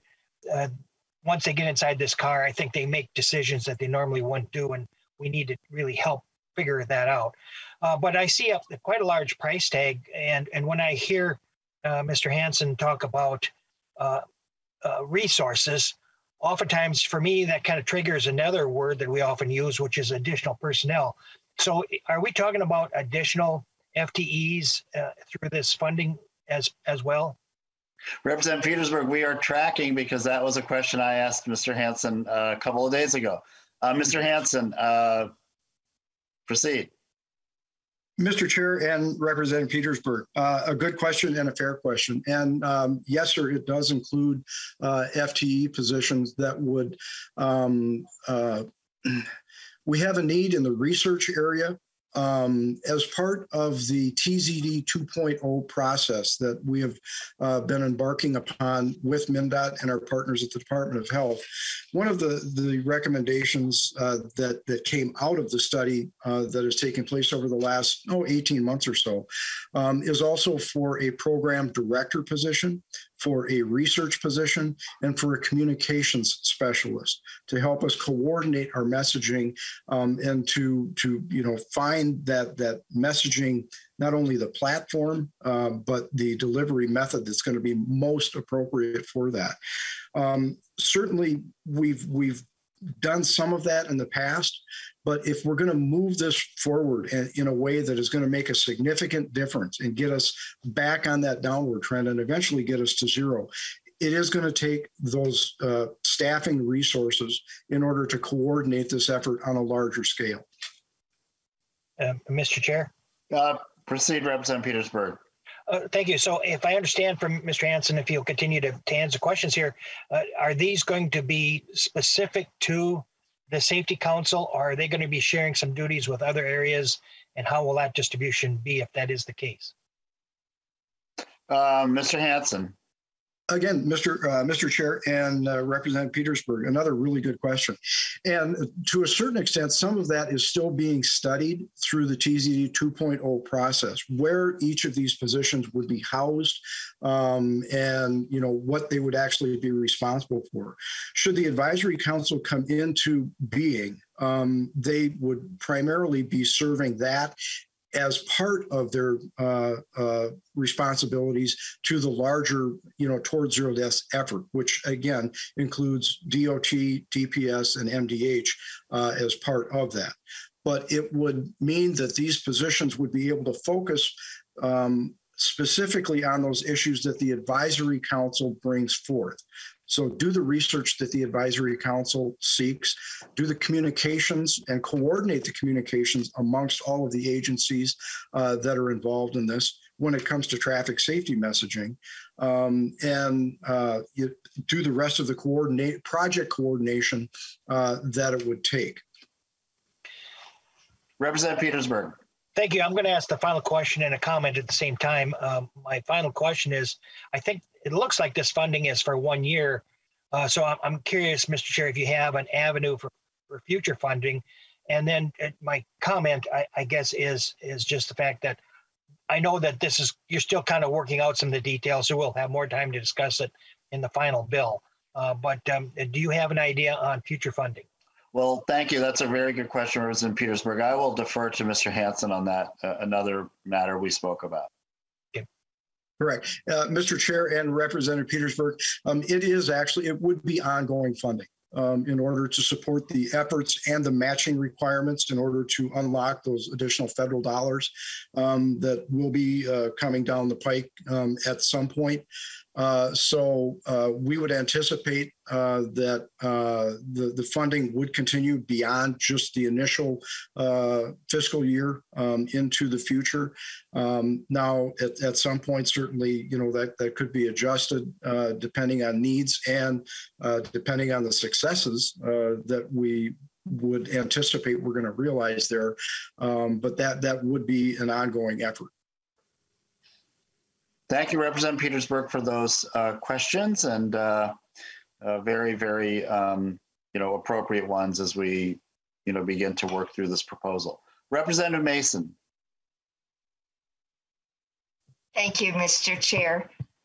Uh, well, first of all, in my opinion, we are dealing with some major behaviors that are just not restricted to drivers. So the fact that you're including the Department of Health, I think, is a good thing, probably. But I guess you said this is separate from the towards zero deaths. And my question is if, well, I have two questions actually. If this is basically trying to deal with the, the death level in particular, why isn't that under that particular program why are you starting something different that i don't understand and then um, well you want to answer that one first representative masin uh, thank you for that question uh, mr hanson uh, yes, Mr. Chair and Representative Masin, and a very good question. Um, the Advisory Council, um, as we would envision it, is a, a supplement and a support uh, for the Towards Zero Deaths program, or the Towards Zero Deaths program would be a support or a supplement to the advisory council. And so again, what we're trying to do is, is pull together not only you know the everything that has gone into the Towards Zero Deaths program, uh, but to formalize um, the uh, the structure that goes with it. And therefore, we can formalize some of the roles and responsibilities and uh, bring uh, a more cohesive and uh, a bit more effective way of delivering the traffic safety programs across the state. So it's not replacing um, the TZD program. This is this is uh, assisting it or supplementing it or supporting it. Representative Masin. Okay. The second question is obviously, well, not obviously, but we know that the, the number of deaths has gone down consistently for the last number, well, up until the last couple of years. Were you do was anything done to precip- precipitate that decline that did happen versus what his and and this is probably the reason for your committee versus what we're seeing in the, these last couple of years. Mr. Hanson.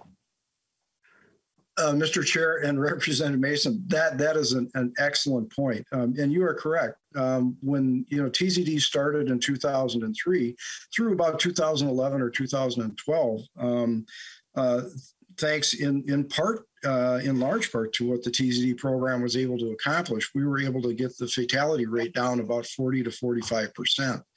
However, about 2012, we, we kind of found ourselves stuck on a, a, plateau from 2012 to 2019, hovering, you know, right between 350 and 400 fatalities a year, which again, completely unacceptable.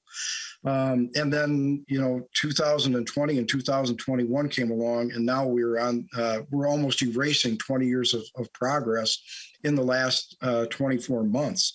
And so that again is what is spurring us to, to take this action, uh, this bold action, and request the authorization uh, for this council so that we can do some uh, some other things that maybe we haven't been able to do in the past to get us back on that downward trend instead of on the upward trend that we find ourselves on. Okay. Do you have Thank a you. follow up, Representative Masin? No, thank you. Okay, let me just uh, scan again our room here.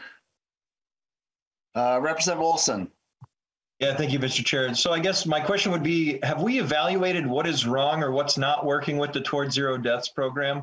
Because um, we're looking at creating another thing to supplement something that isn't working. Have we evaluated why it's not working at this current time? Because just creating a program to help the program that isn't achieving what the program was originally created to achieve doesn't seem like good government to me.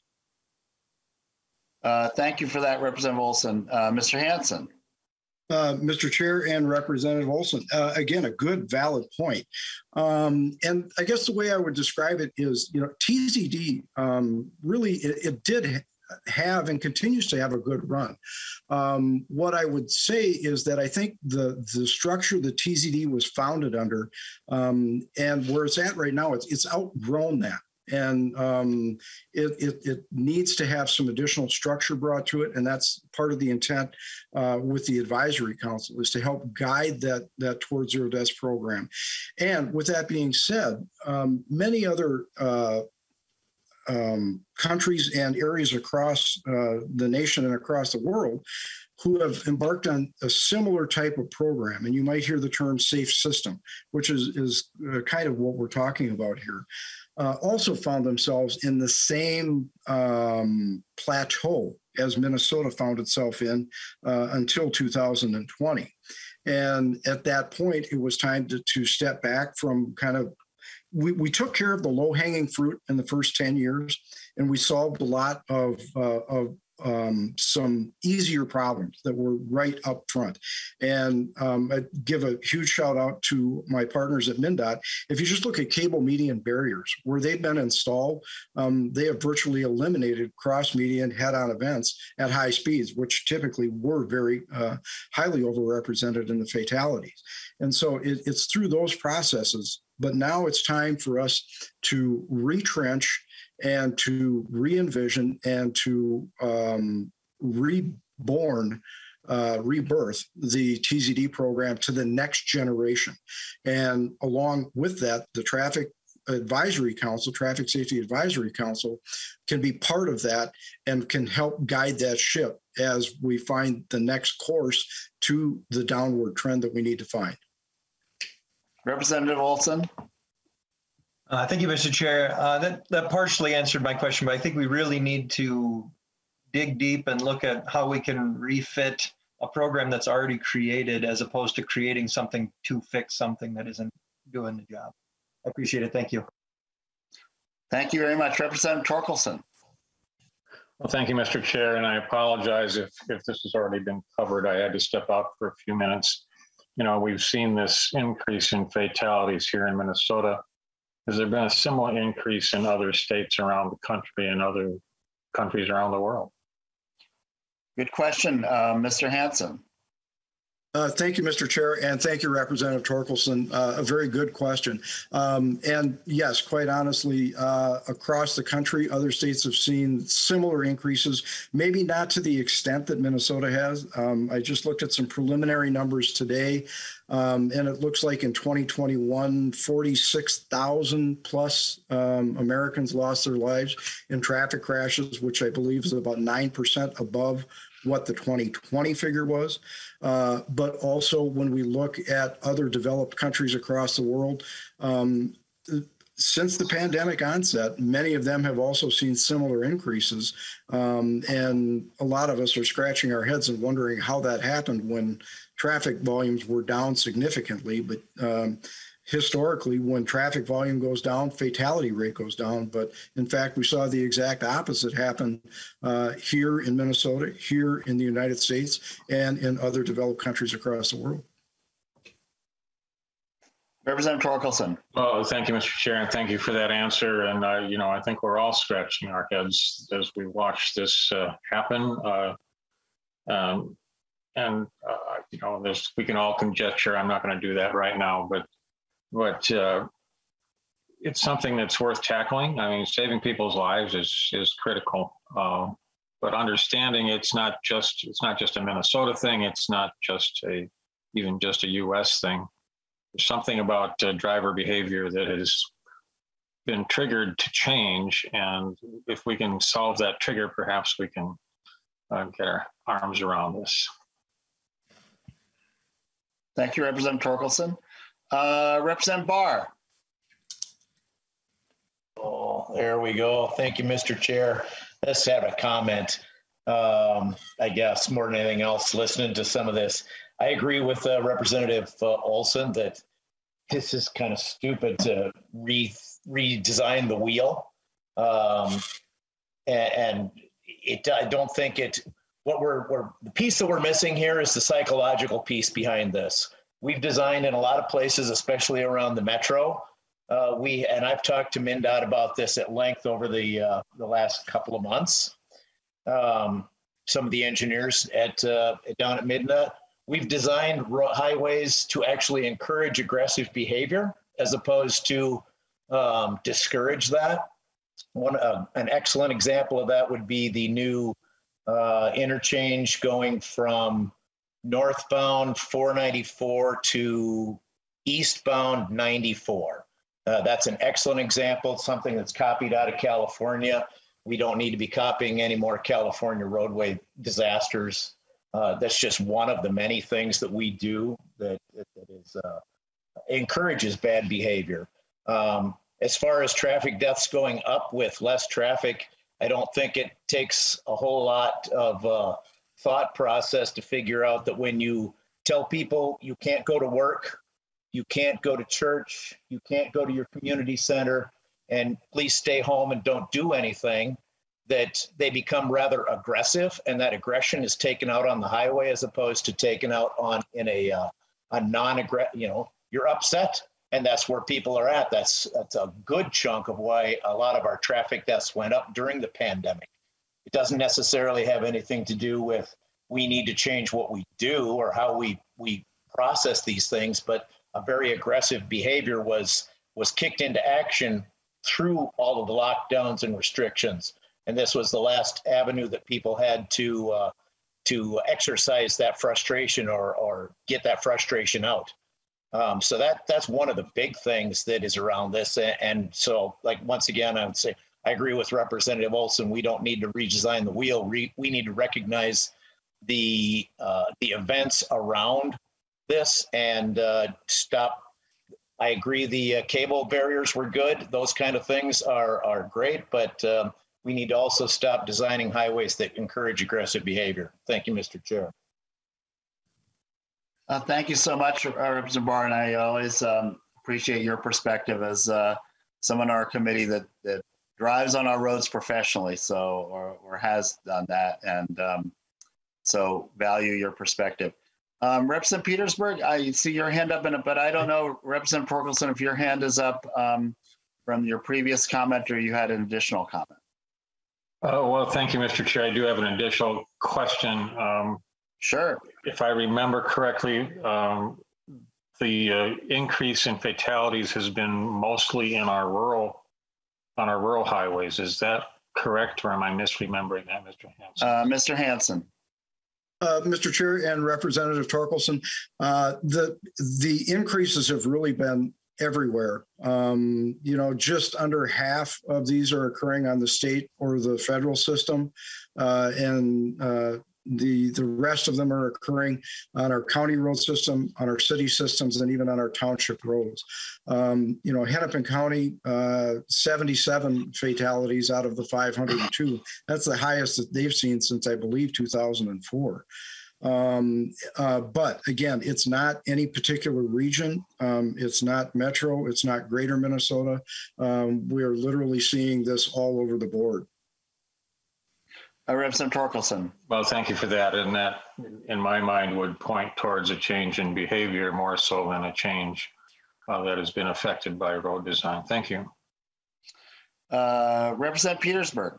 Yeah, thank you. I just, I, the discussion has kind of triggered some of the things that I've been concerned about for a while, and that has to do uh, with, uh, uh, and thank you, Mr. Chair, uh, for for a long time I've kind of believed that we are making cars and making roads uh, safer to be in accidents, uh, safer to have bad behavior, rather than dealing with just bad driving skills and behavior. Uh, it's kind of like the difference between uh, if you're an airplane pilot and you crash, um, there's a pretty consequence there. Uh, here, if you're in a car accident, um, it's easy to walk away from that. And I think what's happened is we got to that plateau where all the engineering that we've done and all the things that we've done has now come to the, the most that we can do.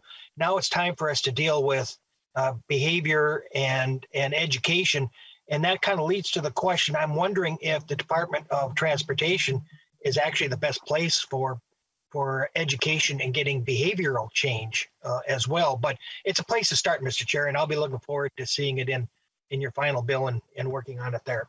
Thank you. Thanks a lot, um, uh, Representative Petersburg. And uh, I saw Representative Heinrich's hand up. Yes, thank you, Mr. Chair. Um, I just had a couple questions. Uh, in regards to the, the um, uptick in deaths on the roads, um, I heard it was said that it was it pretty much uh, statewide spreads evenly between metro and rural. I was wondering if there's any demographic that's overrepresented or underrepresented in, the, in those numbers. You know, is, are we talking, you know, um, 18 to 24 year old males that are just, just choosing to drive 110 miles an hour. Um, so that's kind of one question. You know, the demographic question: of who we're seeing uh, are the worst offenders, and, and who's experiencing the uh, um, the ultimate loss of, of, death on the roads the most. And then my second question would be um, maybe for somebody at MnDOT, or I don't know if uh, State Patrol is on, but um, has there been any decrease in, in just uh, maybe number of pullovers, uh, whether it's for speeding or expired tabs or what have you?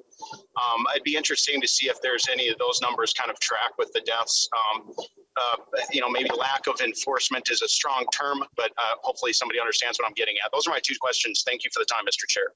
Thank you very much, um, Representative Heinrich. And so I think perhaps between um, Mr. Hanson, Mr. Udine is on the line too, I see. And we also have uh, Mr. Sorensen. So I think any of them can at least answer your second question. Um, uh, but I'll, I'll have uh, Mr. Hanson maybe facilitate this uh, uh, response to you. Uh, thank you, Mr. Chair, and uh, thank you, Representative Heinrich. Um, really good questions. Again, I appreciate that from this committee. They're they're really good questions. As far as the demographics, um, again, males are going to be overrepresented. Um, 60 to 70 percent um, of the drivers involved in fatality crashes are going to uh, be male. Um, pre-pandemic, you know, we we really looked at that that that young unmarried male between the age of 20 and roughly 35 to 40 as being overrepresented. Um, what is somewhat surprising and somewhat puzzling um, and somewhat alarming is that since the pandemic, that age demographic for our males involved in fatal crashes is is going upward. Um, these are drivers that you would think would know better, um, but we're now looking at that age 20 to age 45 to 50 and even beyond uh, as being overrepresented, particularly in some of these high speed uh, crashes. And I think it's no secret to any of the members of this committee, speed is by far and away the leading cause of the increase in the fatalities that we're seeing. So that uh, that gives you a brief picture of the demographic part of it. As far as uh, the enforcement correlation, uh, Representative Heinrich, you are spot on. Um, I, have done a couple presentations with Colonel Langer, and we use one slide um, that illustrates the number of traffic citations that have been issued in Minnesota over the last 10 years. Um, and we are at about or maybe even a little bit less than half of what we were 10 years ago, as far as the number of traffic citations issued by law enforcement. And when you look at that downward line on the slide, and then we plot the fatality line right next to it, it's almost like those two trend lines are exactly inverse. As that enforcement activity has gone down for lots of different reasons, that fatality line has gone upwards. So we know that enforcement has to be part um, of what we're going to do moving forward. But along with that, we need to change attitudes, we need to change culture, we need to change driver behavior, and we need to do that through outreach and through education and, and getting people to to get it. Um, and Representative Petersburg, you know, you make a great point about how cars are engineered these days. When's the last time you saw a TV commercial for how safe the car was? They're pretty rare. You still see them, but most of the time you see drivers doing stuff uh, and then you see the caption down below uh, don't try this at home professional driver on a closed course um, you know uh, 19, 20 year old kid can go into a Dodge dealer right now. Um, not that I'm picking on Dodge, but uh, plop down a thousand bucks and drive out of there in a Hemi equipped Charger. Um, the, I mean, that's just the, the reality of it. And some of these cars, the horsepower they're coming out with uh, is is unbelievable. Um, I do know that my friends at uh, the National Highway Traffic Safety Administration are starting to pay attention to that, much like they did back in the late 1960s and the early 1970s. Um, we have to look at what we're putting on the road and in the hands of our drivers out there. Um, Mr. Chair, that was probably a longer answer than you had intended, um, but I would certainly invite um, uh, uh, Brian Sorensen uh, to to jump in. If uh, Brian, if you have anything to add there that I might have jumped over. Mr. Sorensen. Um, thank you, Mr. Chair and members. I, you know, I think the one thing that I would add at this point um, to Representative Olson's question about um, TZD, we, you know, and, and, we covered this, Mr. Chair, if you remember back on February 8th, um, we talked a little bit about our efforts with TZD and how we've looked at TZD. Um, we've just gone through about a year process of evaluating TZD and how it could be more effective and um, this Traffic Safety Advisory Council um, fits into one of the recommendations, actually, a number of the recommendations of that effort. And one was to increase the engagement in TZD. And so this, you know, this council would bring together people as part of leading that program that have not been engaged at that level in the past. That includes our city and county partners. Um, that includes uh, Department of Education, Department of Human Services, it includes safety-based organizations such as AAA, um, Safety Council, Insurance Federation, Trucking Association. Um, so this is in response to um, how we can make our TZD program more effective. So I think that's the one thing I would add at this point. And I, if I could just add something, Mr. Sorensen, I'm so glad you um, responded. And I think um, Representative Olson, your question was spot on. I, I've just been thinking, I'm a real supporter of the TZD program, and there are fantastic people involved. And I, I do remember, Mr. Sorensen, and this is why I appreciate your comments. I went up to a conference, I don't know how many years ago, it was in Duluth. So uh, it was definitely pre pandemic, uh, but maybe even a couple years pre pandemic. And, you know, I was impressed at how well attended. I mean, hundreds and hundreds of people from all over the state.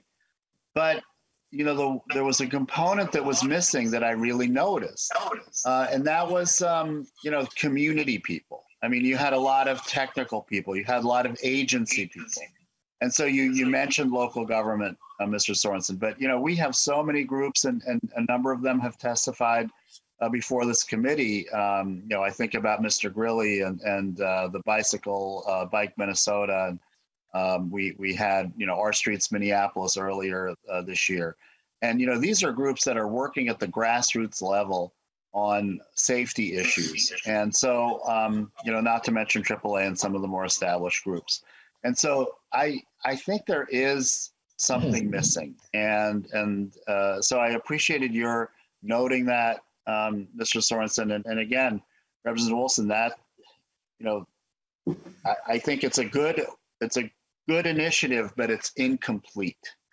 And, and I really noticed that at, at their conferences, but I have to hand it to you. The turnout is amazing. And I think I was invited uh, to one in St. Cloud and I, I couldn't go again a couple years ago. And uh, I think I had uh, Representative Wolgamott went instead. And uh, he reported back to me that there were like a thousand people in the room or something like that. And so that's that's pretty impressive. But you know, the people who are not in the room, that's who we need to get in the room. So Representative Heinrich, your uh, hand is still up. I hope that um, everyone has answered your questions, but if you have a follow-up, please proceed. Well, thank you, Mr. Chair. And yes, I just wanted to thank, uh, well, Mr. Sorensen um, for his uh, input and words, and but especially Mr. Hanson. I felt like those those questions were answered thoroughly, and that was, you know, in in regards to the um, uh, trend on enforcement and and maybe less interactions with the public. Uh, coinciding with the with the uptick in deaths, I, that was kind of my suspicion. So, um, and then just a comment, Mr. Chair, I just uh, I think one of the things that's that's cool, you know, we talk about the uh, effects of the pandemic and, and less people on the roads, and ultimately it's you know leading to more uh, fatalities. Um, one thing that we haven't talked much about uh, to include is the the uptick in crime as well, and um, and kind of a disdain, you know, almost a disdain for law enforcement um, among some groups of people out there. And so I think that that could have an effect as well um, on what we're dealing with. So it's, it's certainly multifaceted, but but that was kind of shocking to me, uh, Mr. Hanson's testimony in regards to um, the trend lines following as far, you know, less interactions with the public or less less enforcement essentially out there happening. So there is kind of a spirit of lawlessness and a spirit of, um, you know, being able to um, to try to get away with things that maybe people were a little bit more cautious about before and, and maybe a healthy fear of that they might be, get caught by law enforcement. And we might be dealing with some law enforcement um, uh, thoughts that are like, hey, you know, why am I going to um, interact with this person um, or, uh, or the public as much as they maybe used to to enforce our, our traffic rules. So just want to make sure that that's, that continues to be a part of the uh, conversation, Mr. Chair. So thank you for the time. Thank you, Representative Heinrich. Uh, next up, we have Representative Elkins. Um, thank you, Mr. Chair. Um, I'm, I'm, glad that Mr. Uh, Sorensen is here this afternoon. Um, so I've been engaged in a very long-running uh, dialogue with the uh, both the city and the county engineers about some of these issues, and I would maintain that uh, one of the things that we need to study is, uh, you know, whether we might actually be over-engineering our roads. So, so, you know, for the last 70 years uh, our, our, engineers have been uh, designing roads under the uh, assumption that uh, if we just make them wider and straighter, that we'll make them safer. And uh, available evidence suggests that uh, uh, that they actually the opposite is happening. Is that all we do when we make the the the, the streets too wide and too safe, or too too wide and too straight, is people drive faster on them, and the fatality rates actually go up. And so I, I think it's time for us to, uh, as part of this, start questioning some of those assumptions as well. Good point, Representative Elkins. I don't know if anyone uh, uh, would like to respond, either Mr. Sorensen, Mr. Hanson, anyone, if you'd like. It seemed more of a comment, but but a spot on comment, Representative Elkins. I, I know that if, I don't know, I don't see Representative Murphy, but I know she would probably comment a little about roundabouts if she were on the call, but um, uh, we'll we'll save that one for later. Uh, okay, I don't see. I'm on the call. Oh, you're on the call, Representative Murphy. Do you have a comment about roundabouts? No, I don't have a comment about roundabouts. Let's go on and on. Okay, but maybe Representative Torkelson does. I see his hand is up.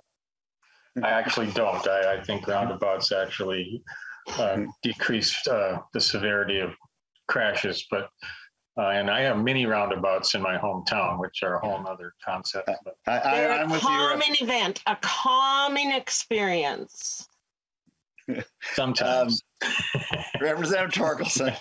Uh, just what I'm sorry to jump in again, but uh, you No, for a please, long- we, this is very, very helpful, Representative For a long So- time, you know, I've made the comment that I changed the way I drive based on where I'm located. Uh, You know, when you're, when I'm out here in the country, I, I'm pretty casual, uh, low key, but when I get into the metropolitan area, I just feel I have to drive more aggressively uh, just to keep up and not be uh, overwhelmed by the rest of the traffic. Uh, perhaps we're all just getting a little too aggressive. I don't know. Just a comment, Mr. Chair.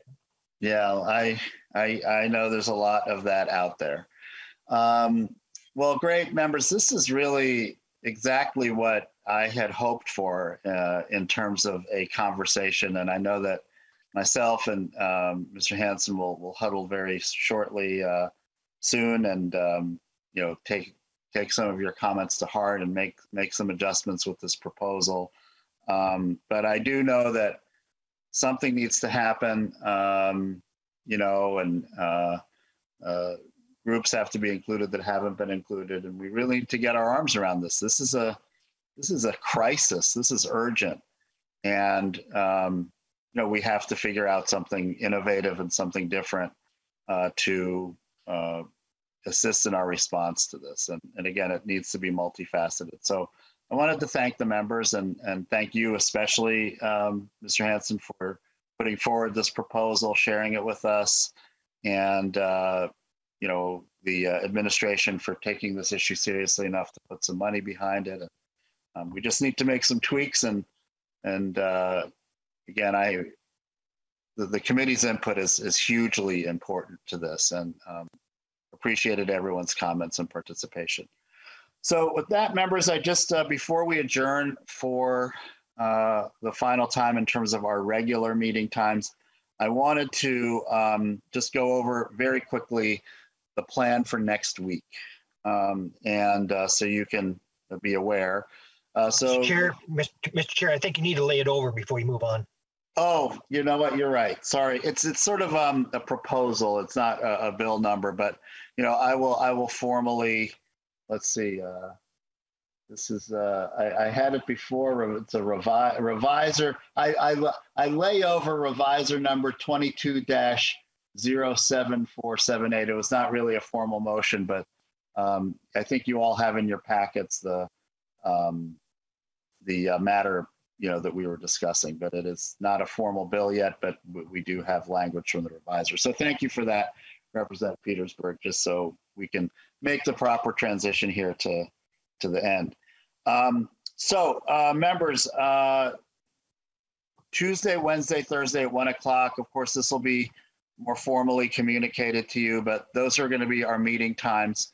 Uh, we um, have that extra meeting on Wednesday. And, and as we've done in the past, um, yeah, on Tuesday, we will have a, uh, we will go over the bill with our um, a nonpartisan staff, the, call it the rollout of the omnibus bill. Uh, and then on Wednesday at one o'clock, we'll have public testimony. And then Thursday at one o'clock, uh, we will have amendments and discussion and then formally uh, pass what will be a DE amendment to a bill.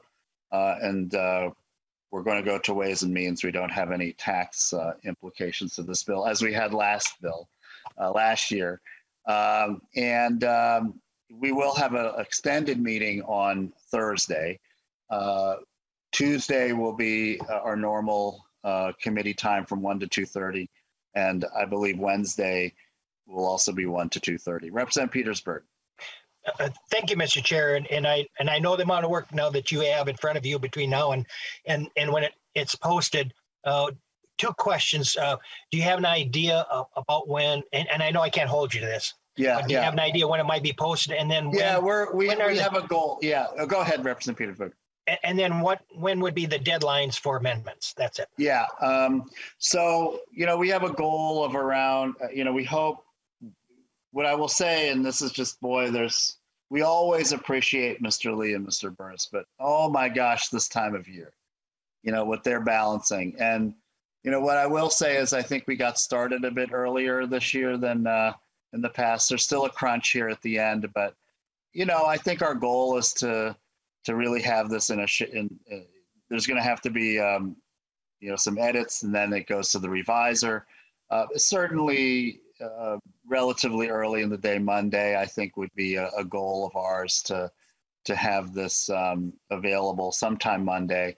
Uh, the earlier, the better. And then um, you know you'll have about you know we'll have a couple days to to mull it over, and then uh, uh, you know I haven't really discussed this with Mr. Howe, but um, and I will I'll want to discuss it with you, Representative Petersburg. You know what is a reasonable time for amendments because this is a big bill. We don't have a lot of time, so we might, uh, you know, ex- you know, waive the 24-hour period, um, and and maybe it's a 12-hour period. I don't know, but I would like to discuss that with you over the weekend, Right. Representative Petersburg.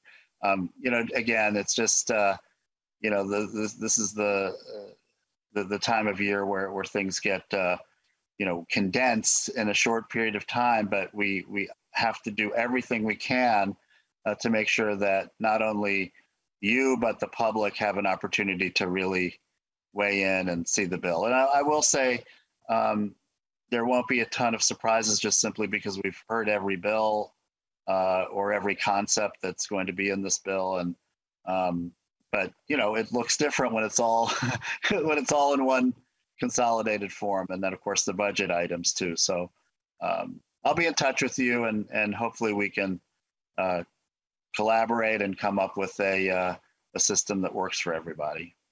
Uh, Thank, thank you, Mr. Chair. I appreciate the fluidity that we have to do at this time, and maybe we'll have more information about the uh, conference committee issue as well. But uh, thank you for all your diligence and work and putting, uh, and working together. And I really appreciate um, the, the ability to be able to talk with you and, and work things through with you. Uh, I appreciate our working relationship very much. Thank you. Thank you. Uh, me as well. And, you know, we'll, we'll have plenty of time for, uh, uh, you know, thank yous next week.